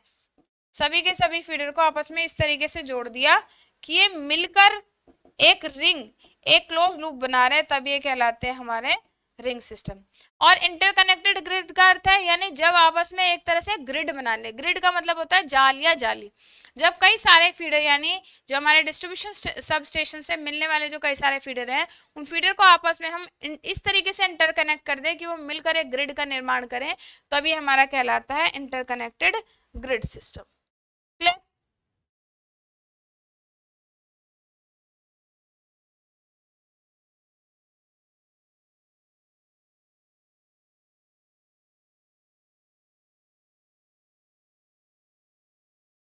Design consideration की जब बात करते हैं तो हमें फीडर में तो करंट कैरिंग कैपेसिटी का ध्यान रखना पड़ता है। और डिस्ट्रीब्यूटर में फीडर की बात करते हैं तो फीडर में हमें ध्यान रखना पड़ता है किस चीज़ का, और डिस्ट्रीब्यूटर में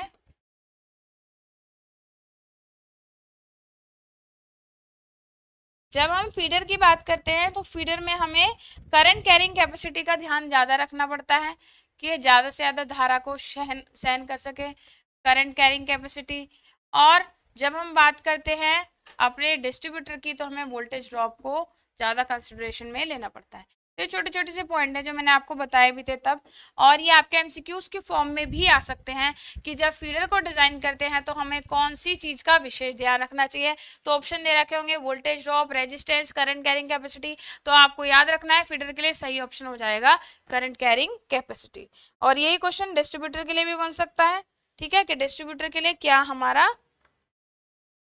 कंसिडरेशन हो सकता है डिज़ाइन कंसिडरेशन नेक्स्ट देखते हैं unit number five components of transmission and distribution line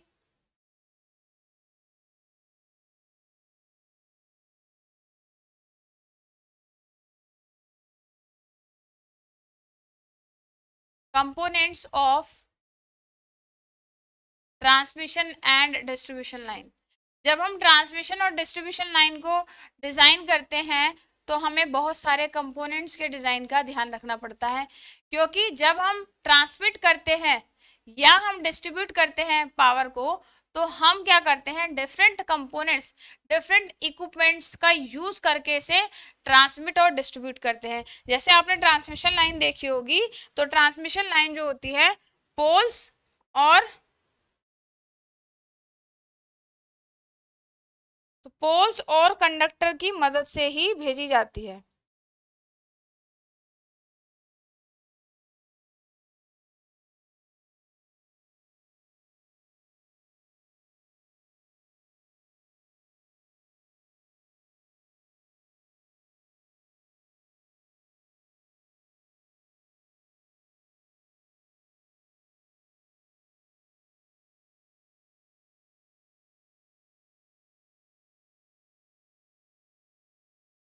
service man और डिस्ट्रीब्यूटर में क्या डिफरेंस है? एक बच्चे का ये क्वेश्चन आया है। जी, बिल्कुल बता देते हैं। सर्विस मेन्स और डिस्ट्रीब्यूटर का डिफरेंस जो है, वो पूछा भी जा सकता है आपसे। देखिए, जब हम बात करते हैं किसकी? सर्विस मेन्स की और डिस्ट्रीब्यूटर की।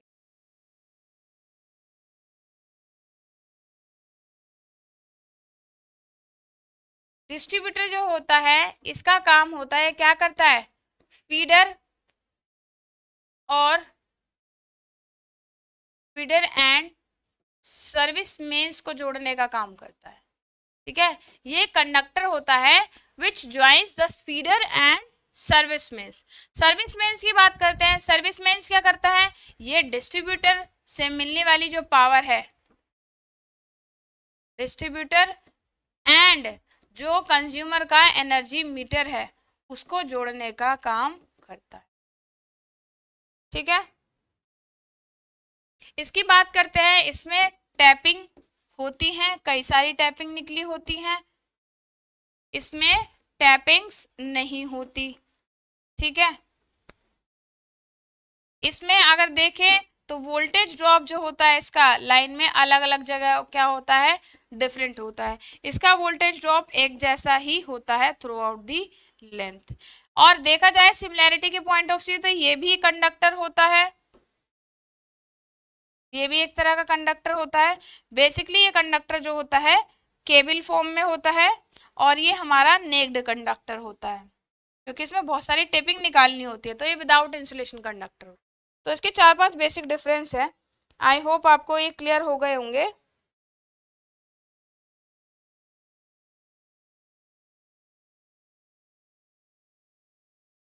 श्याम भाभी जी, आपको आंसर मिल गया होगा कि इनमें क्या बेसिक डिफरेंसेस हमारे होते हैं। अब बात कर लेते हैं अपने नेक्स्ट यूनिट की, यानी components of transmission and distribution. देखिए, एक ही समय पर पढ़ाना और कमेंट पढ़ना रेगुलरली पॉसिबल नहीं है। ये मैराथन क्लास है, जिसमें ताबड़तोड़ आपको टॉपिक कराए जा रहे हैं। छह यूनिट है और देखा जाए सिलेबस बहुत सारा है ट्रांसमिशन डिस्ट्रीब्यूशन में। ट्रांसमिशन डिस्ट्रीब्यूशन अपने आप में बहुत वास्ट सब्जेक्ट है, बड़ा सब्जेक्ट है। और इसमें हर एक टॉपिक जो हम देख रहे हैं, वो हर एक अपने आप में बहुत ज़्यादा इंपॉर्टेंट है। कुछ कम इंपॉर्टेंस रखते हैं टॉपिक कुछ ज़्यादा इंपॉर्टेंस रखते हैं, लेकिन टॉपिक हर एक इंपॉर्टेंट है। तो इसमें किसी भी टॉपिक को हम ओवरलुक नहीं कर सकते। और मैं कोशिश कर रही हूँ कि आपको सारे ही टॉपिक में करवाऊँ, जिसकी वजह से ऐसा कोई टॉपिक आपका ना रह जाए कि आप ये कहें कि ये टॉपिक तो हमें आता ही नहीं था।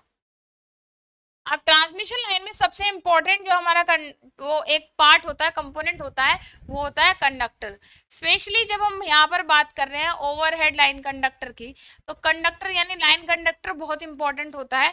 लाइन कंडक्टर हमारा ऐसा मटेरियल होना चाहिए जिसकी कंडक्टिविटी हाई होनी चाहिए. इसमें प्रॉपर्टी कुछ क्या क्या होनी चाहिए? इसकी कंडक्टिविटी हाई होनी चाहिए. मैकेनिकल स्ट्रेंथ इसकी हाई होनी चाहिए. मैकेनिकल स्ट्रेंथ इसकी हाई होनी चाहिए। बाकी इसका टेम्परेचर कोफिशियंट ऑफ़ रेजिस्टेंस जो होता है टेम्परेचर कोफिशियंट ऑफ़ रेजिस्टेंस जो होता है, वो लो होना चाहिए। रेजिस्टिविटी इसकी कैसी होनी चाहिए? कम से कम होनी चाहिए। फ्री फ्रॉम कोरोजन होना चाहिए। कोरोजन का कोई प्रभाव नहीं होना चाहिए। फ्री फ्रॉम केमिकल इफ़ेक्ट होना चाहिए। किसी भी तरह के रासायनिक अभिक्रिया का कोई प्रभाव इस पर नहीं पड़ना चाहिए। वैदरिक चेंज फ्री फ्रॉम वैदरिक इफ़ेक्ट वातावरण का कोई प्रभाव इस पर नहीं पड़ना चाहिए। ये सब प्रॉपर्टीज़ पे होनी चाहिए टेंसाइल स्ट्रेंथ अच्छी होनी चाहिए फ्लेक्सिबिलिटीज में होनी चाहिए डक्टिलिटीज में होनी चाहिए। फ्लेक्सिबिलिटी की प्रॉपर्टी होनी चाहिए, ताकि आसानी से इसे तोड़ा मरोड़ा भी जा सके। क्योंकि कई जगह हमें ट्रांसमिशन लाइन और डिस्ट्रीब्यूशन लाइन को टर्न देना होता है तो टर्न देते समय कंडक्टर टूट ना जाए इसमें फ्लेक्सिबिलिटी होनी चाहिए डक्टिलिटी होनी चाहिए, ताकि हम मटेरियल को आसानी से खींचकर उसके तार बना सकें। तो ये सब प्रॉपर्टी उसमें होनी चाहिए। बाकी कंडक्टर बनाने के लिए जो कंडक्टिंग मटेरियल हम यूज़ करते हैं, वो कई तरह के हमारे हो सकते हैं। कंडक्टिंग मटेरियल जो होते हैं हमारे कंडक्टिंग मटेरियल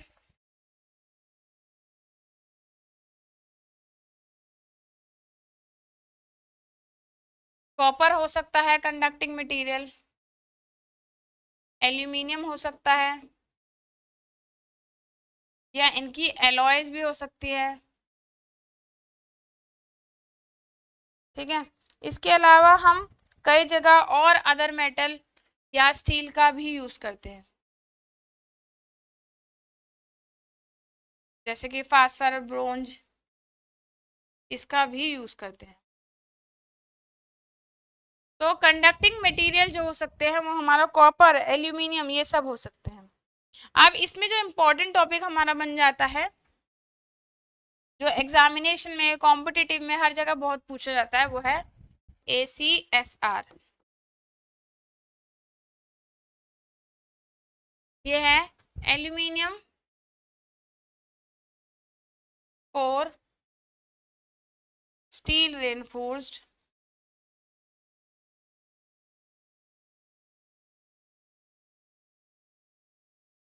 conductor.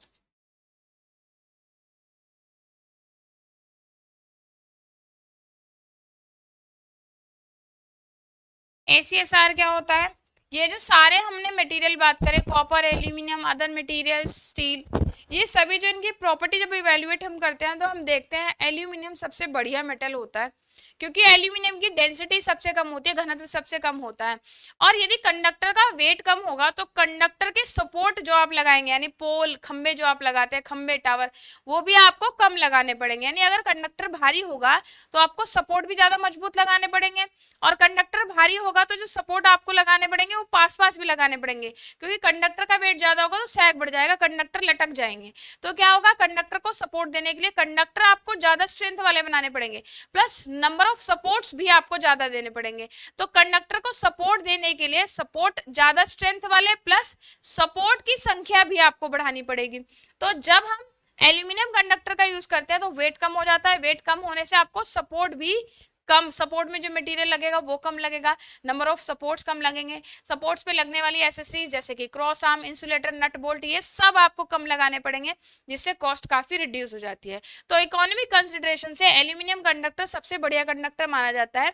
लेकिन एल्यूमिनियम की टेंसाइल स्ट्रेंथ बहुत खराब होती है। इसकी मैकेनिकल स्ट्रेंथ बहुत वीक होती है। तो इसको मैकेनिकल स्ट्रॉन्ग बनाने के लिए इसमें हम क्या करते हैं? स्टील कोर का यूज़ करते हैं। इसमें ऐसे करते हैं, एक सेंटर में स्टील कोर होती है और ये हमारा सेंटर में स्टील कोर होगी, ठीक है? और इसके चारों तरफ़, इस तरीके से जो एल्यूमिनियम कंडक्टर है, वो इसके चारों तरफ़ लपेट दिए जाते हैं। जिससे क्या हो जाता है कि हमारे जो एल्यूमिनियम कंडक्टर हैं, उनको मैकेनिकल स्ट्रेंथ मिल जाती है। तो ये हमारे कहलाते हैं A C S R conductor clear अब आगे आते हैं बंडल्ड कंडक्टर नाम से पता चल रहा है, यानी बंडल फॉर्म में जब हम यूज़ करते हैं बंडल्ड कंडक्टर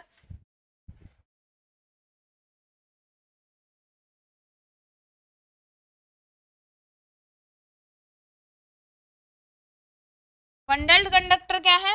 जब हम हाई वोल्टेज पर बात करते हैं तो वहाँ पे कोरोना इफ़ेक्ट स्किन इफ़ेक्ट जो कि एक तरह के हमारे लॉसेस होते हैं, इनको मिनिमाइज करने के लिए। क्योंकि जैसे जैसे हम हाई वोल्टेज की तरफ़ जाते हैं ना एक्स्ट्रा हाई वोल्टेज ट्रांसमिशन की बात करते हैं तो वहाँ पर हमें इन इफ़ेक्ट को कंसिडरेशन में लेना पड़ता है।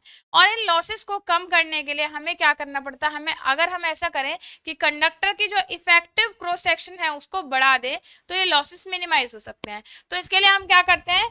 कई सारे कंडक्टर को आपस में बंडल्ड फॉर्म में यानी ग्रुप ऑफ़ कंडक्टर क्या?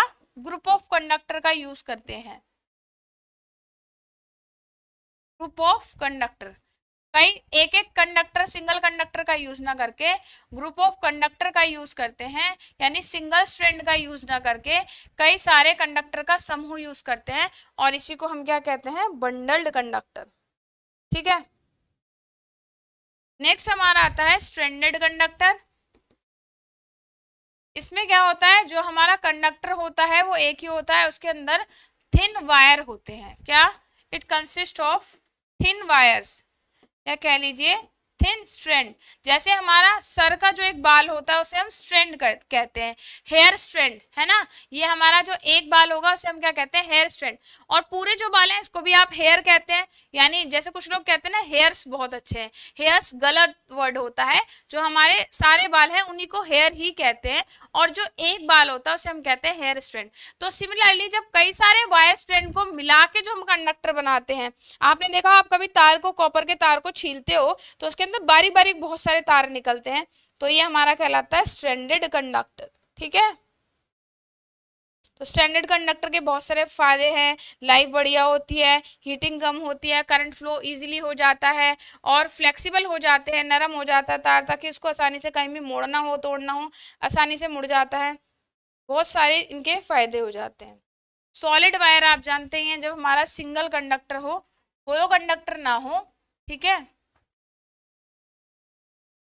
सॉलिड कंडक्टर जिसकी अपनी कुछ लेंथ हो, अपना कुछ क्रॉस सेक्शन हो और सिंगल स्ट्रैंड का ही आपने यूज़ किया हो तो ये हमारा हो जाएगा सॉलिड कंडक्टर अब बात आती है लाइन सपोर्ट्स की। दूसरा जो इंपॉर्टेंट कंपोनेंट हमारा आ जाता है, वो आ जाते हैं लाइन सपोर्ट्स लाइन सपोर्ट्स क्या करते हैं? लाइन सपोर्ट्स का क्या काम होता है? लाइन सपोर्ट्स क्या करते हैं? लाइन कंडक्टर के वेट को लाइन कंडक्टर के वेट को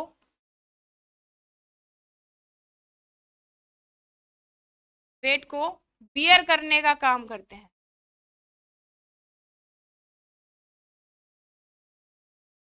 ठीक है?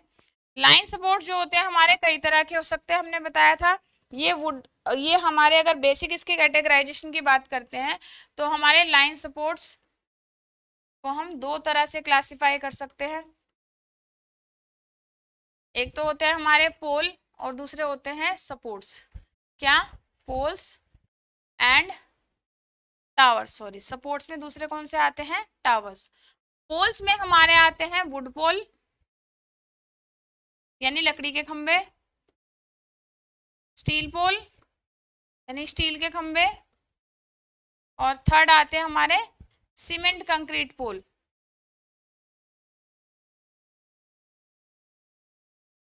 यानी सीमेंट और कंक्रीट का मिश्रण बना के जो बनते हैं। टावर हमारे दो तरह के हो सकते हैं। Narrow base and broad base. यानी ऐसे टावर जो कि नीचे से पतले हों और ऊपर से चौड़े हों, वो हमारे कहलाते हैं नैरो बेस। ब्रॉड बेस का मतलब है जिनका बेस चौड़ा हो और ऊपर से पतले होते हैं, वो ब्रॉड बेस कहलाते हैं। वुड पोल जो है हमारे दो तरह के हो सकते हैं, single wood and double wood. यानी एक ही लकड़ी के लट्ठे से जब बने होते हैं, तब हम इसे कहते हैं सिंगल वुड पोल। और जब दो लकड़ी के तख्तों से, दो लकड़ी के लट्ठों से बना होता है, तब हम इसे कहते हैं double wood pole. Double wood pole में हमारी दो स्ट्रक्चर आती है, कौन सी? A type and H type A type यानी जब हमने इस तरीके से जोड़े हों पोल, कि दोनों मिलकर हमारा ए शेप बनाए, ऐसे। एक पोल ये, एक ये लकड़ी का खंबा हो गया और एक ये हो गया और इस पे ऐसे हमने क्रॉस आर्म लगा दी। ये हमारे वुड हो गया। तो ये हमारी कौन सी स्ट्रक्चर हो गई? ए टाइप एस टाइप की बात करें, अगर हमने ऐसे बनाया है, एक समांतर ले लिए दोनों, एक ऐसे एक ऐसे ले लिया और इस पे बीच में यहाँ पर हमने क्रॉस आर्म वगैरह लगा दी तो ये हमारे लकड़ी के पोल हो गए, ये हो गया हमारा एच शेप ठीक? जब हम स्टील पोल की बात करते हैं स्टील पोल में हमारे आते हैं tubular pole solid pole and lattice pole. Tubular pole यानी जो खोखले बेलन के बने होते हैं नलिका न, नलिका आकार उन्हें हम ट्यूबलर पोल सॉलिड जो बिल्कुल सॉलिड शेप के होते हैं, वो सॉलिड पोल, लेटिस पोल यानी जो जाल टाइप में बने होते हैं। सीमेंट कंक्रीट पोल हमारे दो टाइप के हो सकते हैं, पीसीसी यानी pre stress cement concrete pole और आरसीसी यानी reinforced cement concrete pole तो ये जो क्लासिफिकेशन है हमारे डिफरेंट टाइप ऑफ़ सपोर्ट्स का है। तो अगर हम बात करते हैं मैकेनिकल स्ट्रेंथ की तो वुड वुड पोल की मैकेनिकल स्ट्रेंथ सबसे कम होती है। इनका स्पैन भी कम होता है। स्पैन क्या होता है? दो खंभों के बीच की दूरी। इनका स्पैन भी कम होता है। इनकी ड्यूरेबिलिटी भी कम होती है। इनका सेफ्टी फैक्टर भी अच्छा नहीं होता। है तो वुड पोल क्योंकि लकड़ी के हैं ये ये बहुत जल्दी मॉइस्चर एब्जॉर्ब कर लेते हैं, वातावरण से प्रभावित हो जाते हैं। और लकड़ी क्या तेज हवा का झोंका आया मौसम खराब हुआ तो लकड़ी टूट के गिर भी सकती है। तो इसकी ड्यूरेबिलिटी बढ़िया नहीं होती, इसकी आयु अच्छी नहीं होती। डबल वुड पोल ये या सिंगल वुड पोल दोनों वुड पोल जो हम जब यूज़ करते हैं, जब हमें टेम्परेरी वायरिंग करनी हो स्टील पोल में ट्यूबलर पोल और सॉलिड पोल बहुत ज़्यादा आपने देखे होंगे। सॉलिड पोल और ट्यूबलर पोल जो होते हैं, इनकी मैकेनिकल स्ट्रेंथ वुड पोल के मुकाबले बढ़िया होती है। लेकिन इनमें प्रॉब्लम होती है कोरोजन की, जिसकी वजह से इनमें कोरोजन रेजिस्टेंट पेंट हमें करना पड़ता है। इनकी लाइफ बढ़िया होती है, इनका स्पैन भी हमें कम रखना पड़ता है, इनका सेफ्टी फैक्टर भी बढ़िया होता है। लास्ट है हमारे cement concrete pole cement concrete pole जो है सीमेंट और कंक्रीट का घोल बनाकर एक रेक्टेंगुलर स्लैब के रूप में इनका निर्माण किया जाता है। तो सांचे में डालकर सीमेंट कंक्रीट का मसाला जो है, वो हम भर देते हैं और फिर इनका निर्माण किया जाता है। चूँकि इनके निर्माण में बहुत समय लगता है, इनको सुखाने में, बनाकर तैयार करने में इनका ट्रांसपोर्टेशन मुश्किल होता है क्योंकि इनमें वेट बहुत ज़्यादा होता है, इनमें टूट फूट बहुत ज़्यादा होती है।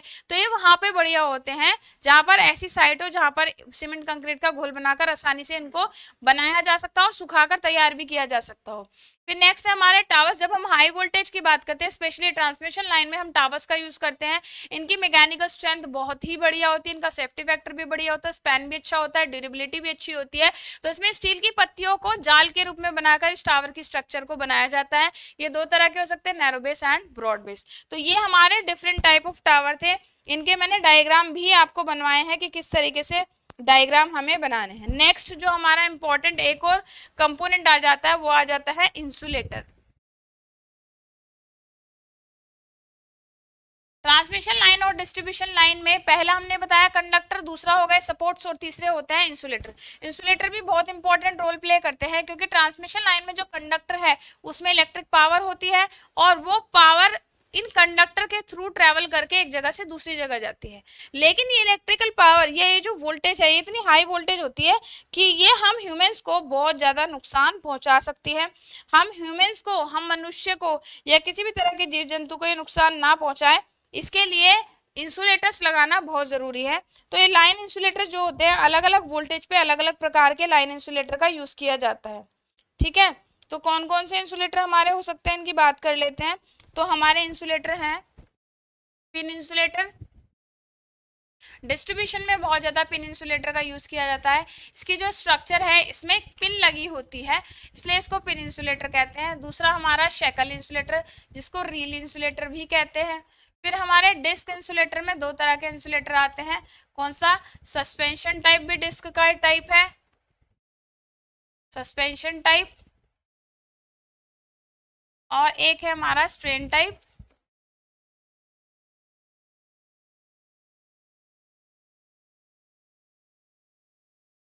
पोस्ट इंसुलेटर और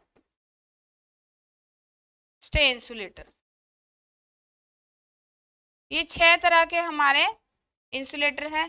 जिनमें से अगर हम बात करें ना किसकी, पिन इंसुलेटर की और शेकल इंसुलेटर की, ये बहुत ज़्यादा डिस्ट्रीब्यूशन में यूज़ होते हैं। पिन इंसुलेटर की जब बात करते हैं तो पिन इंसुलेटर में इस तरीके से टॉप पे ग्रूव कटा होता है, ठीक है? और इसकी ऐसे स्ट्रक्चर होती है। और यहाँ ग्रूव जो है, यहाँ पर हमारा क्या जाता है? Line conductor. इसमें ऐसे ये एक वो बनी होती है पिन। और ये जो स्ट्रक्चर है, इसे कहते हैं हम रेन शेड। तो ये रेन शेड इसलिए बनी होती है ताकि अगर बारिश का कोई भी पानी हो तो उस पर आसानी से बह के उसे क्या कर दे, नीचे की तरफ़ ऐसे पानी जो है नीचे की तरफ़ बह के नीचे चला जाए, इसके ऊपर ना रुके। ये जो होता है, ये पोर्सलिन का बना होता है। हालाँकि अब जो है पोर्सिलिन की जगह सिरेमिक एपॉक्सी रेजिन ग्लास इनके भी इंसुलेटर बनाए जाने लगे हैं। फिर आगे हमारा शेकल इंसुलेटर शेकल इंसुलेटर जो होता है, वो ऐसे क्लैंप पे कसा होता है इसमें ऐसे डी शेप की एक हमारी क्लैंप होती है, ऐसी। ठीक है? इसके बीच में ये हमारा ऐसे कसा जाता है। इसकी जो स्ट्रक्चर होती है, वो ऐसे होती है जैसे हमारी रील होती है। ये नट बोल्ट से ऐसे कसा होता है। ये जो स्ट्रक्चर होती है हमारी कहलाती है रील और ये हमारी होती है क्लैम्प इस क्लैम्प को हम जो भी हमारा पोलियो सपोर्ट है, उस पर नटबोल्ट की सहायता से कस देते हैं और उस पर इंसुलेटर लगाया जाता है. दोनों ही जो है हमारे डिस्ट्रीब्यूशन में बहुत ज़्यादा यूज़ किए जाते हैं. उसके बाद हमारा है दूसरा यानी disc type insulator, disc type insulator में ऐसे हमारी चक्ति होती है जो कि पोर्सिलिन या सिरेमिक की बनी होती है। इसकी मोटाई बहुत कम होती है और वैसे जो इसका कह लीजिए आप सरकमफेरेंस वो बहुत ज़्यादा होता है। अब डिस्क को कैसे कनेक्ट किया जाए? अगर डिस्क आपस में ऐसे वर्टिकली कनेक्टेड है, यानी ऐसे ऊर्ध्वाधर लटकी हुई है, तभी हमारा कहलाता है कौन सा? सस्पेंशन टाइप यानी झूला प्रारूपी, और यदि डिस्क आपकी ऐसे लगी हुई है होरिजेंटली लगी हुई है, तब हम इसे कहते हैं स्ट्रेन टाइप। ठीक है? नेक्स्ट जो हमारा इसमें पोस्ट इंसुलेटर, ये पिन इंसुलेटर का ही सुधरा हुआ रूप है। इसमें क्या होती है? इसकी लंबाई ज़्यादा होती है, यानी इसमें शेड्स जो है, वो बहुत ज़्यादा हो जाती हैं, ऐसे। कई सारी शेड्स को आपस में जोड़ के। तो ये हमारा हो जाता है पोस्ट इंसुलेटर। स्टे इंसुलेटर की बात करते हैं तो स्टे इंसुलेटर जो होता है, ये स्टे वायर की सहायता से ऐसे लगा होता है। ये स्टे वायर होता है, यहीं पे हमारा स्टे इंसुलेटर लगा होता है। तो ये हो गया स्टे इंसुलेटर। और ये जो वायर है, ये स्टे वायर। स्टे वायर क्या काम करता है? ऐसी जगह जहाँ पर हमें ट्रांसमिशन लाइन या डिस्ट्रीब्यूशन लाइन को घुमाव देना होता है, वहाँ पर पोल पर बहुत ज़्यादा क्या हो जाता है? स्ट्रेस काम करता है, जिसकी वजह से पोल एक ही जगह झुक सकता है। तो उसको टेक देने के लिए, है ना? स्टे देने के लिए हम क्या लगाते हैं? Stay wire. और स्टे वायर ज़मीन में गाड़ा जाता है तो ज़मीन में किसी तरह का कोई करंट का फ्लो ना हो इसके लिए स्टे इंसुलेटर लगाया जाता है। स्टे इंसुलेटर जो होता है हमारा एग शेप का होता है, इसलिए हम इसे एग इंसुलेटर भी कहते हैं। ऐसे ओवल टाइप शेप का होता है, ठीक है? इसमें ऐसे भी वायर कसा होता है, यहाँ पे इसमें ग्रुप कटा होता है, यहाँ भी वायर कसा जाता है और यहाँ भी वायर कसा जाता है। इस तरीके से ये हमारा कहलाता है स्टे स्टे इंसुलेटर क्लियर अब नेक्स्ट हमारा इसमें आता है सैग ये मैकेनिकल फीचर में आता है सैग सैग क्या होती है? सैग की डेफिनेशन आपको ज़रूर पता होनी चाहिए। जब हम किन्हीं दो सपोर्ट्स की बात करते हैं सपोर्ट्स को मिलाने वाली इमेजिनरी लाइन ये हमारी इमेजिनरी लाइन जो कि स्ट्रेट लाइन होगी, और कंडक्टर की एक्चुअल पोजीशन के बीच की जो वर्टिकल डिस्टेंस है, यही क्या कहलाती है? हमारी सैग कहलाती है। जब हम किसी दो सपोर्ट की बात करें support A support B support A और बी को मिलाने वाली इमेजिनरी लाइन और कंडक्टर की एक्चुअल पोजीशन यानी actual position of actual position of conductor वास्तविक जो हमारी इसकी पोजीशन है, उसको मिलाने वाली जो ये उद्वादर लाइन है, यानी वर्टिकल हाइट या वर्टिकल डिस्टेंस इसी को हम क्या कहते हैं? सैग कहते हैं। ठीक है? तो सैग की डेफिनेशन आपको पता होना चाहिए। व्हाट इज़ सैग और सैग क्यों इंपॉर्टेंट है? सैग को कैसे कैलकुलेट करते हैं? और सैग का जो फॉर्मूला है S equals to W L square upon eight T होता है जब हमारे सपोर्ट इक्वल हाइट पे हो। जहाँ डब्ल्यू क्या होता है? कंडक्टर का वेट होता है एल उसकी लेंथ होती है टी उस पर टेंशन होता है, और एस हमारा सैग होता है। ये मीटर में नापा जाता है। ठीक है? नेक्स्ट इसमें आता है फिर हमारा कोरोना इफ़ेक्ट बहुत इंपॉर्टेंट इफ़ेक्ट है। कोरोना इफ़ेक्ट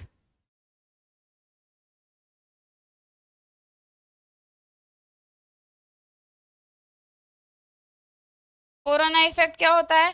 जब हम किसी कंडक्टर की बात करते हैं, स्पेशली हाई वोल्टेज पर, जो हमारे कंडक्टर पास पास होते हैं, जैसे हम ट्रांसमिशन लाइन की बात कर रहे हैं तो हमारे तीन कंडक्टर होते हैं आर वाई बी तो कंडक्टर पर जब हाई वोल्टेज दी जाती है, हाई वोल्टेज पर यानी बहुत उच्च वोल्टता पर इनके आसपास की जो एयर है, इनके चारों तरफ़ जो एयर है, ये एयर क्या हो जाती है? आयोनाइज हो जाती है, यानी आयनीकृत हो जाती है।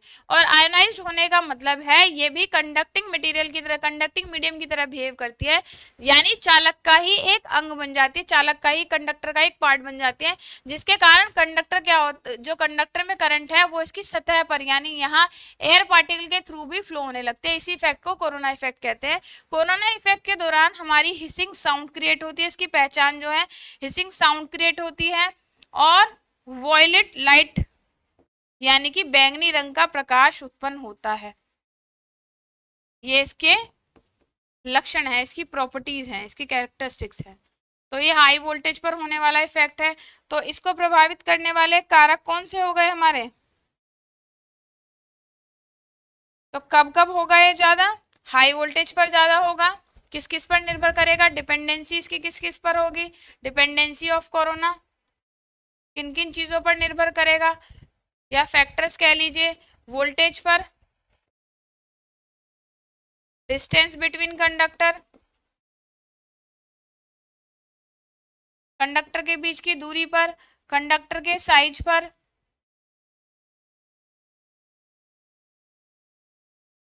कंडक्टर साइज़ पर और मीडियम पर, यानी वायु जो है उसकी प्रकृति कैसी है मीडियम जो है वो कैसा है। कुछ एयर ऐसी होती है जो ज़्यादा मॉइस्ट होती है, जिसमें नमी की मात्रा ज़्यादा होती है तो जल्दी आयोनाइज हो जाएगी और कुछ देर से आयोनाइज होगी। फिर नेक्स्ट और लास्ट टॉपिक इसमें जो है हमारा अंडरग्राउंड केबल्स हैं। इसी में हमारा आ जाता है अंडरग्राउंड केबल्स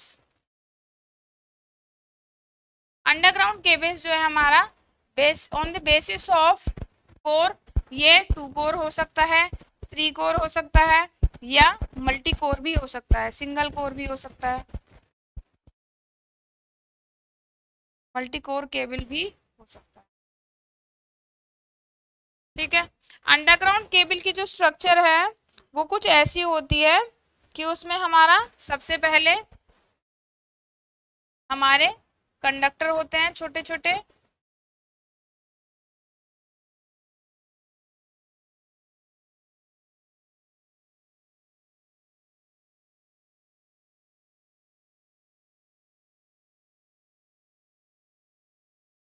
ये हमारे क्या है? कंडक्टर तो आप देख रहे हैं थ्री कोर बनाया गया, तीन कोर है ना? और इसके ऊपर ये चढ़ाया गया कंडक्टर के ऊपर पेपर इंसुलेशन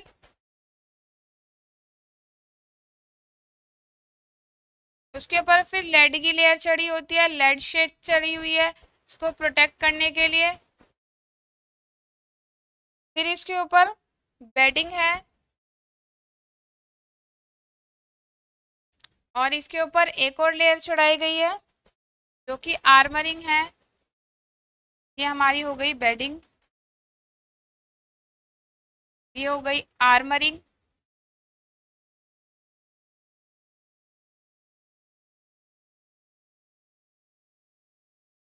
ये बहुत इंपॉर्टेंट डायग्राम है, आपको बनाना ज़रूर आना चाहिए। और सबसे बाहर वाली जो लेयर होती है, ये होती है सर्विस लेयर तो इस तरीके की हमारी इसकी कंस्ट्रक्शन अंडरग्राउंड केबल की होती है।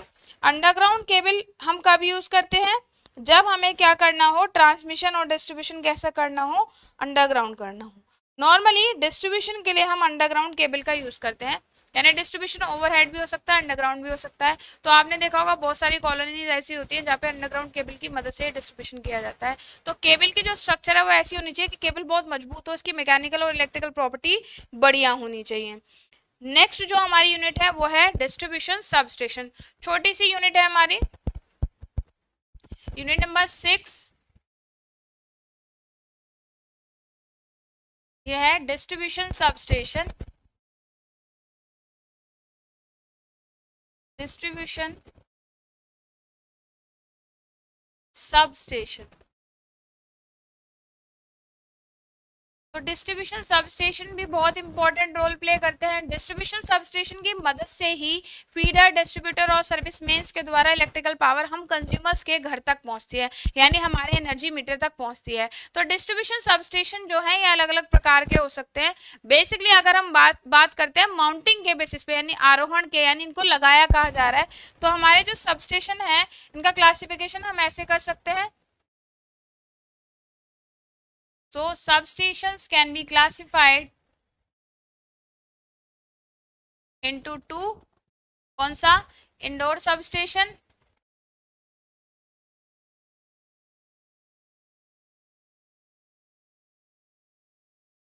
और दूसरा हो सकता है आउटडोर सबस्टेशन यानी इंडोर सबस्टेशन से अर्थ है ऐसे सबस्टेशन जो किसी बिल्डिंग या किसी इमारत या किसी मकान के अंदर लगे हो, वो हमारे इंडोर यानी बंद छत के अंदर लगाए जाते हैं अंडर द रूफ होते हैं, वो हमारे इंडोर सबस्टेशन और आउटडोर सबस्टेशन जो खुले स्थानों में लगाए जाते हैं, खुली जगह पर लगाए जाते हैं, यानी आउटसाइड द रूफ लगाए जाते हैं, वो हमारे आउटडोर सबस्टेशन कहलाते हैं। आउटडोर सबस्टेशन फर्दर हमारे दो प्रकार के हो सकते हैं। ये हो सकते हैं पोल माउंटेड और प्लिंथ माउंटेड पोल माउंटेड का अर्थ है ऐसे सब स्टेशन जिनको पोल पर माउंट किया जाता है, वो हमारे पोल माउंटेड सब स्टेशन कहलाते हैं। ये आपने ज़रूर देखे भी होंगे, अपने घर के आसपास आपने देखे होंगे कि पोल पर ट्रांसफॉर्मर रखा होता है और बहुत सारी एसेसरीज लगी होती है। तो ये हमारे पोल माउंटेड सब स्टेशन कहलाते हैं। पोल माउंटेड सब स्टेशन में हमारे दो तरह के हो सकते हैं। या तो टू पोल हो सकते हैं, दो पोल पर ही ट्रांसफार्मर रखा हो या फोर पोल पर रखा हो, चार पोल के ऊपर ट्रांसफार्मर रखा हो। तो पोल माउंटेड भी नंबर ऑफ़ पोल्स के बेसिस पे अगर क्लासीफाई आप कर सकते हैं। प्लिंथ माउंटेड का मतलब है जब आप नीचे एक फाउंडेशन बना दो, एक बेस बना दो, उसको सीमेंटेड कर दें, यानी आरसीसी का गोल बनाकर, सीमेंट का गोल बनाकर फरश्ता तैयार करते हैं और उसके ऊपर जो आपके सब स्टेशन के कंपोनेंट है, उनको जब आप रखते हैं तो ये कहलाता है प्लिंथ माउंटेड सब स्टेशन तो सब स्टेशन का क्लासिफिकेशन अगर हम देखते हैं तो मेनली सब स्टेशन को हम दो तरह से क्लासीफाई कर सकते हैं। ये हमारे हो सकते हैं indoor sub station and outdoor sub station ठीक है? अब जो हमारे पोल माउंटेड सब स्टेशन है पोल माउंटेड सबस्टेशन में हम एच टाइप पोल का यूज़ करते हैं, ठीक है? और इनका जो यूज़ है, अगर हम देखें तो इनको कहाँ तक, इनको up to twenty five K V A तक हम इनको यूज़ करते हैं। ठीक है? One twenty one twenty five K V A तक हम इनका यूज़ करते हैं। इनका यूज़ हम थर्टी थ्री के वी तक के सबस्टेशन बनाने के लिए कर सकते हैं। इंडोर सबस्टेशन जो होते हैं, इनकी कैपेसिटी काफ़ी लो होती है। इनको 11 के वी वैसे तो हम मोस्टली 11 के वी तक के लिए ही बनाते हैं बट 33 के वी सिक्सटी इसके लिए बना सकते हैं। और आउटडोर सबस्टेशन तो 11 के वी के लिए 66 के लिए 33 के लिए, इन सब के वी के लिए आप आउटडोर सबस्टेशन डिज़ाइन कर सकते हैं। तो इंडोर सबस्टेशन वो होते हैं जो किसी बिल्डिंग में अंदर किसी बिल्डिंग या भवन में लगाए जाते हैं और आउटडोर वो होते हैं जो खुले स्थानों पर लगाए जाते हैं। इनका अगर आप कंपैरिजन देखोगे तो आपको चीज़ें और अच्छे से क्लियर हो जाएँगी। इंडोर सब स्टेशन जो होते हैं, वो क्या होते हैं और आउटडोर सब स्टेशन क्या होते हैं?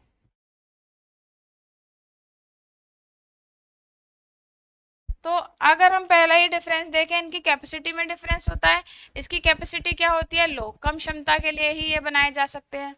कैपेसिटी लो होती है, इनकी कैपेसिटी हाई होती है। इसके लिए लेस स्पेस रिक्वायर्ड होता है, कम जगह की ज़रूरत होती है, इसमें मोर स्पेस रिक्वायर्ड होता है। ठीक है, और इसके अलावा इसमें इंफ्रास्ट्रक्चर की ज़रूरत पड़ती है, यानी आपको कंस्ट्रक्शन कराना पड़ेगा। इसमें नो नीड ऑफ़ इंफ्रास्ट्रक्चर कोई ज़रूरत नहीं पड़ती, बस खुली भूमि चाहिए, ठीक है। इसमें क्या होता है कॉस्ट इसकी क्या होती है? अगर हम देखें तो कॉस्ट इसकी ज़्यादा पड़ती है, ठीक है? जहाँ पर कंस्ट्रक्शन महँगा हो, इसकी कॉस्ट देखें तो जहाँ पर लैंड वहाँ पर। तो कॉस्ट तो दोनों की हम अलग अलग हिसाब से देखते हैं। इसकी कॉस्ट जो है, अगर हम कम कैपेसिटी के लिए बात करते हैं तो इसकी कॉस्ट हमारी सही होती है, ज़्यादा कैपेसिटी के लिए इसकी कॉस्ट सही होती है। तो हाई कैपेसिटी के लिए अगर बात करते हैं, इसकी कॉस्ट ज़्यादा और इसकी कॉस्ट क्या पड़ती है? कम पड़ती है। ये डिपेंड करता है आप कहाँ बना रहे हैं। मान लीजिए कोई ऐसी जगह है जहाँ पर ज़मीन खरीदना ही बहुत महँगा तो cost obviously outdoor sub station की ज़्यादा महँगी पड़ेगी। और इसके अलावा इसका एक्सपेंशन ईजी है। इसको आप अगर भविष्य में आपको इसको एक्सपेंड करना हो तो इसमें इजी एक्सपेंशन हो सकता है। इसमें एक्सपेंशन थोड़ा मुश्किल हो सकता है टफ हो सकता है। टफ एक्सपेंशन हो सकता है, ठीक? और ये जो है, इसको बनने में मोर टाइम लगता है, ज़्यादा जगह लगती, ज़्यादा समय लगता है इसको बनाने में। इसको बनाने में लेस टाइम लगता है। और अगर मेंटेनेंस रिपेयर की बात करें तो इजी मेंटेनेंस रिपेयर इसमें हो सकता है, क्योंकि खुली जगह मन होता है तो रिपेयर और मेंटेनेंस क्या हो सकता है? आसानी से हो सकता है। यहाँ मुश्किल से होता है टफ होता है। इसके अलावा इसमें फॉल्ट करेक्शन और डिटेक्शन आसानी से हो सकता है। फॉल्ट करेक्शन और डिटेक्शन का काम आसानी से हो जाता है। ठीक है? कंपोनेंट क्योंकि बहुत दूर दूर होते हैं, इसमें टफ होता है। तो ये सब कुछ इसके बेसिक डिफरेंसेस हैं। तो इंडोर और आउटडोर सबस्टेशन हमारे दो तरह के सबस्टेशन हो सकते हैं। जो कि हमने माउंटिंग के बेसिस पर डिवाइड किए हैं। यानी इनका आरोहण किस हिसाब से किया जा रहा है? अगर इंडोर लगाया जा रहा है, किसी बिल्डिंग के अंदर लगाया जा रहा है तो इसे इंडोर सब स्टेशन कहते हैं। और बाहर लगाए जा रहे हैं तो हम इन्हें आउटडोर सब स्टेशन कहते हैं। अविनाश रॉय का मैसेज आया है। Thank you ma'am pin type insulator जी, बता दिए पिन टाइप इंसुलेटर जी टाइम टेबल बिल्कुल मिल जाएगा। नील, आपको टेलीग्राम चैनल पर टाइम टेबल मिलेगा। टेलीग्राम चैनल आप ज्वाइन कर लें। वहाँ पर आपको पूरा टाइम टेबल मैराथन क्लास का मिल जाएगा। तो आप अगर नहीं जुड़े हैं तो टेलीग्राम चैनल पर ज़रूर जुड़ जाइए। लिंक आपको यहाँ कमेंट में भी मिल जाएगा। ठीक है? तो इसी के साथ हमारी छठी यूनिट भी कंप्लीट होती है तो हमारी छः की छः यूनिट जो है वो आज हमने कंप्लीट कर ली। तो आई होप ट्रांसमिशन और डिस्ट्रीब्यूशन के सब्जेक्ट में आज आप इतने कॉन्फिडेंट हो गए होंगे कि अब आपको ये तो डर नहीं रहेगा कि कहीं मेरी बैक ना आ जाए या मेरे नंबर बहुत खराब ना आ जाए। तो इतना अप्रोच आज हमने थ्योरेटिकल हर एक कॉन्सेप्ट को समझा। कोई भी कॉन्सेप्ट मैंने नहीं छोड़ा, हर एक कॉन्सेप्ट की बात की कि एग्जामिनेशन पॉइंट ऑफ़ व्यू में किस तरह से इसके क्वेश्चन पूछे जा सकते हैं। और हर एक टॉपिक अपने आप में बहुत इंपॉर्टेंट है, जैसे कोरोना इफ़ेक्ट बहुत बहुत इंपॉर्टेंट है। Skin effect Ferranti effect proximity effect है छोटे छोटे इफ़ेक्ट आपको ज़रूर करने हैं। एसीएसआर कंडक्टर बहुत इंपॉर्टेंट है। छोटे छोटे टॉपिक हैं जो कि पूछे ही जाएँगे। तो इन छोटे छोटे टॉपिक्स को भी हमें ओवरलुक नहीं करना। तो चलिए आई होप आप सभी के लिए आज का सेशन बहुत ज़्यादा इंटरेस्टिंग और बहुत ज़्यादा इंपॉर्टेंट रहा होगा। आप सभी को आज बहुत कुछ सीखने को मिला होगा। आई होप आप सभी स्टूडेंट्स का एग्जामिनेशन बहुत अच्छा जाए और एग्जामिनेशन देने के बाद अपना फीडबैक और अपना जो भी व्यूज़ है, अपना एक्सपीरियंस ज़रूर शेयर कीजिएगा। तो थैंक यू सो मच बच्चों। जय हिंद जय भारत।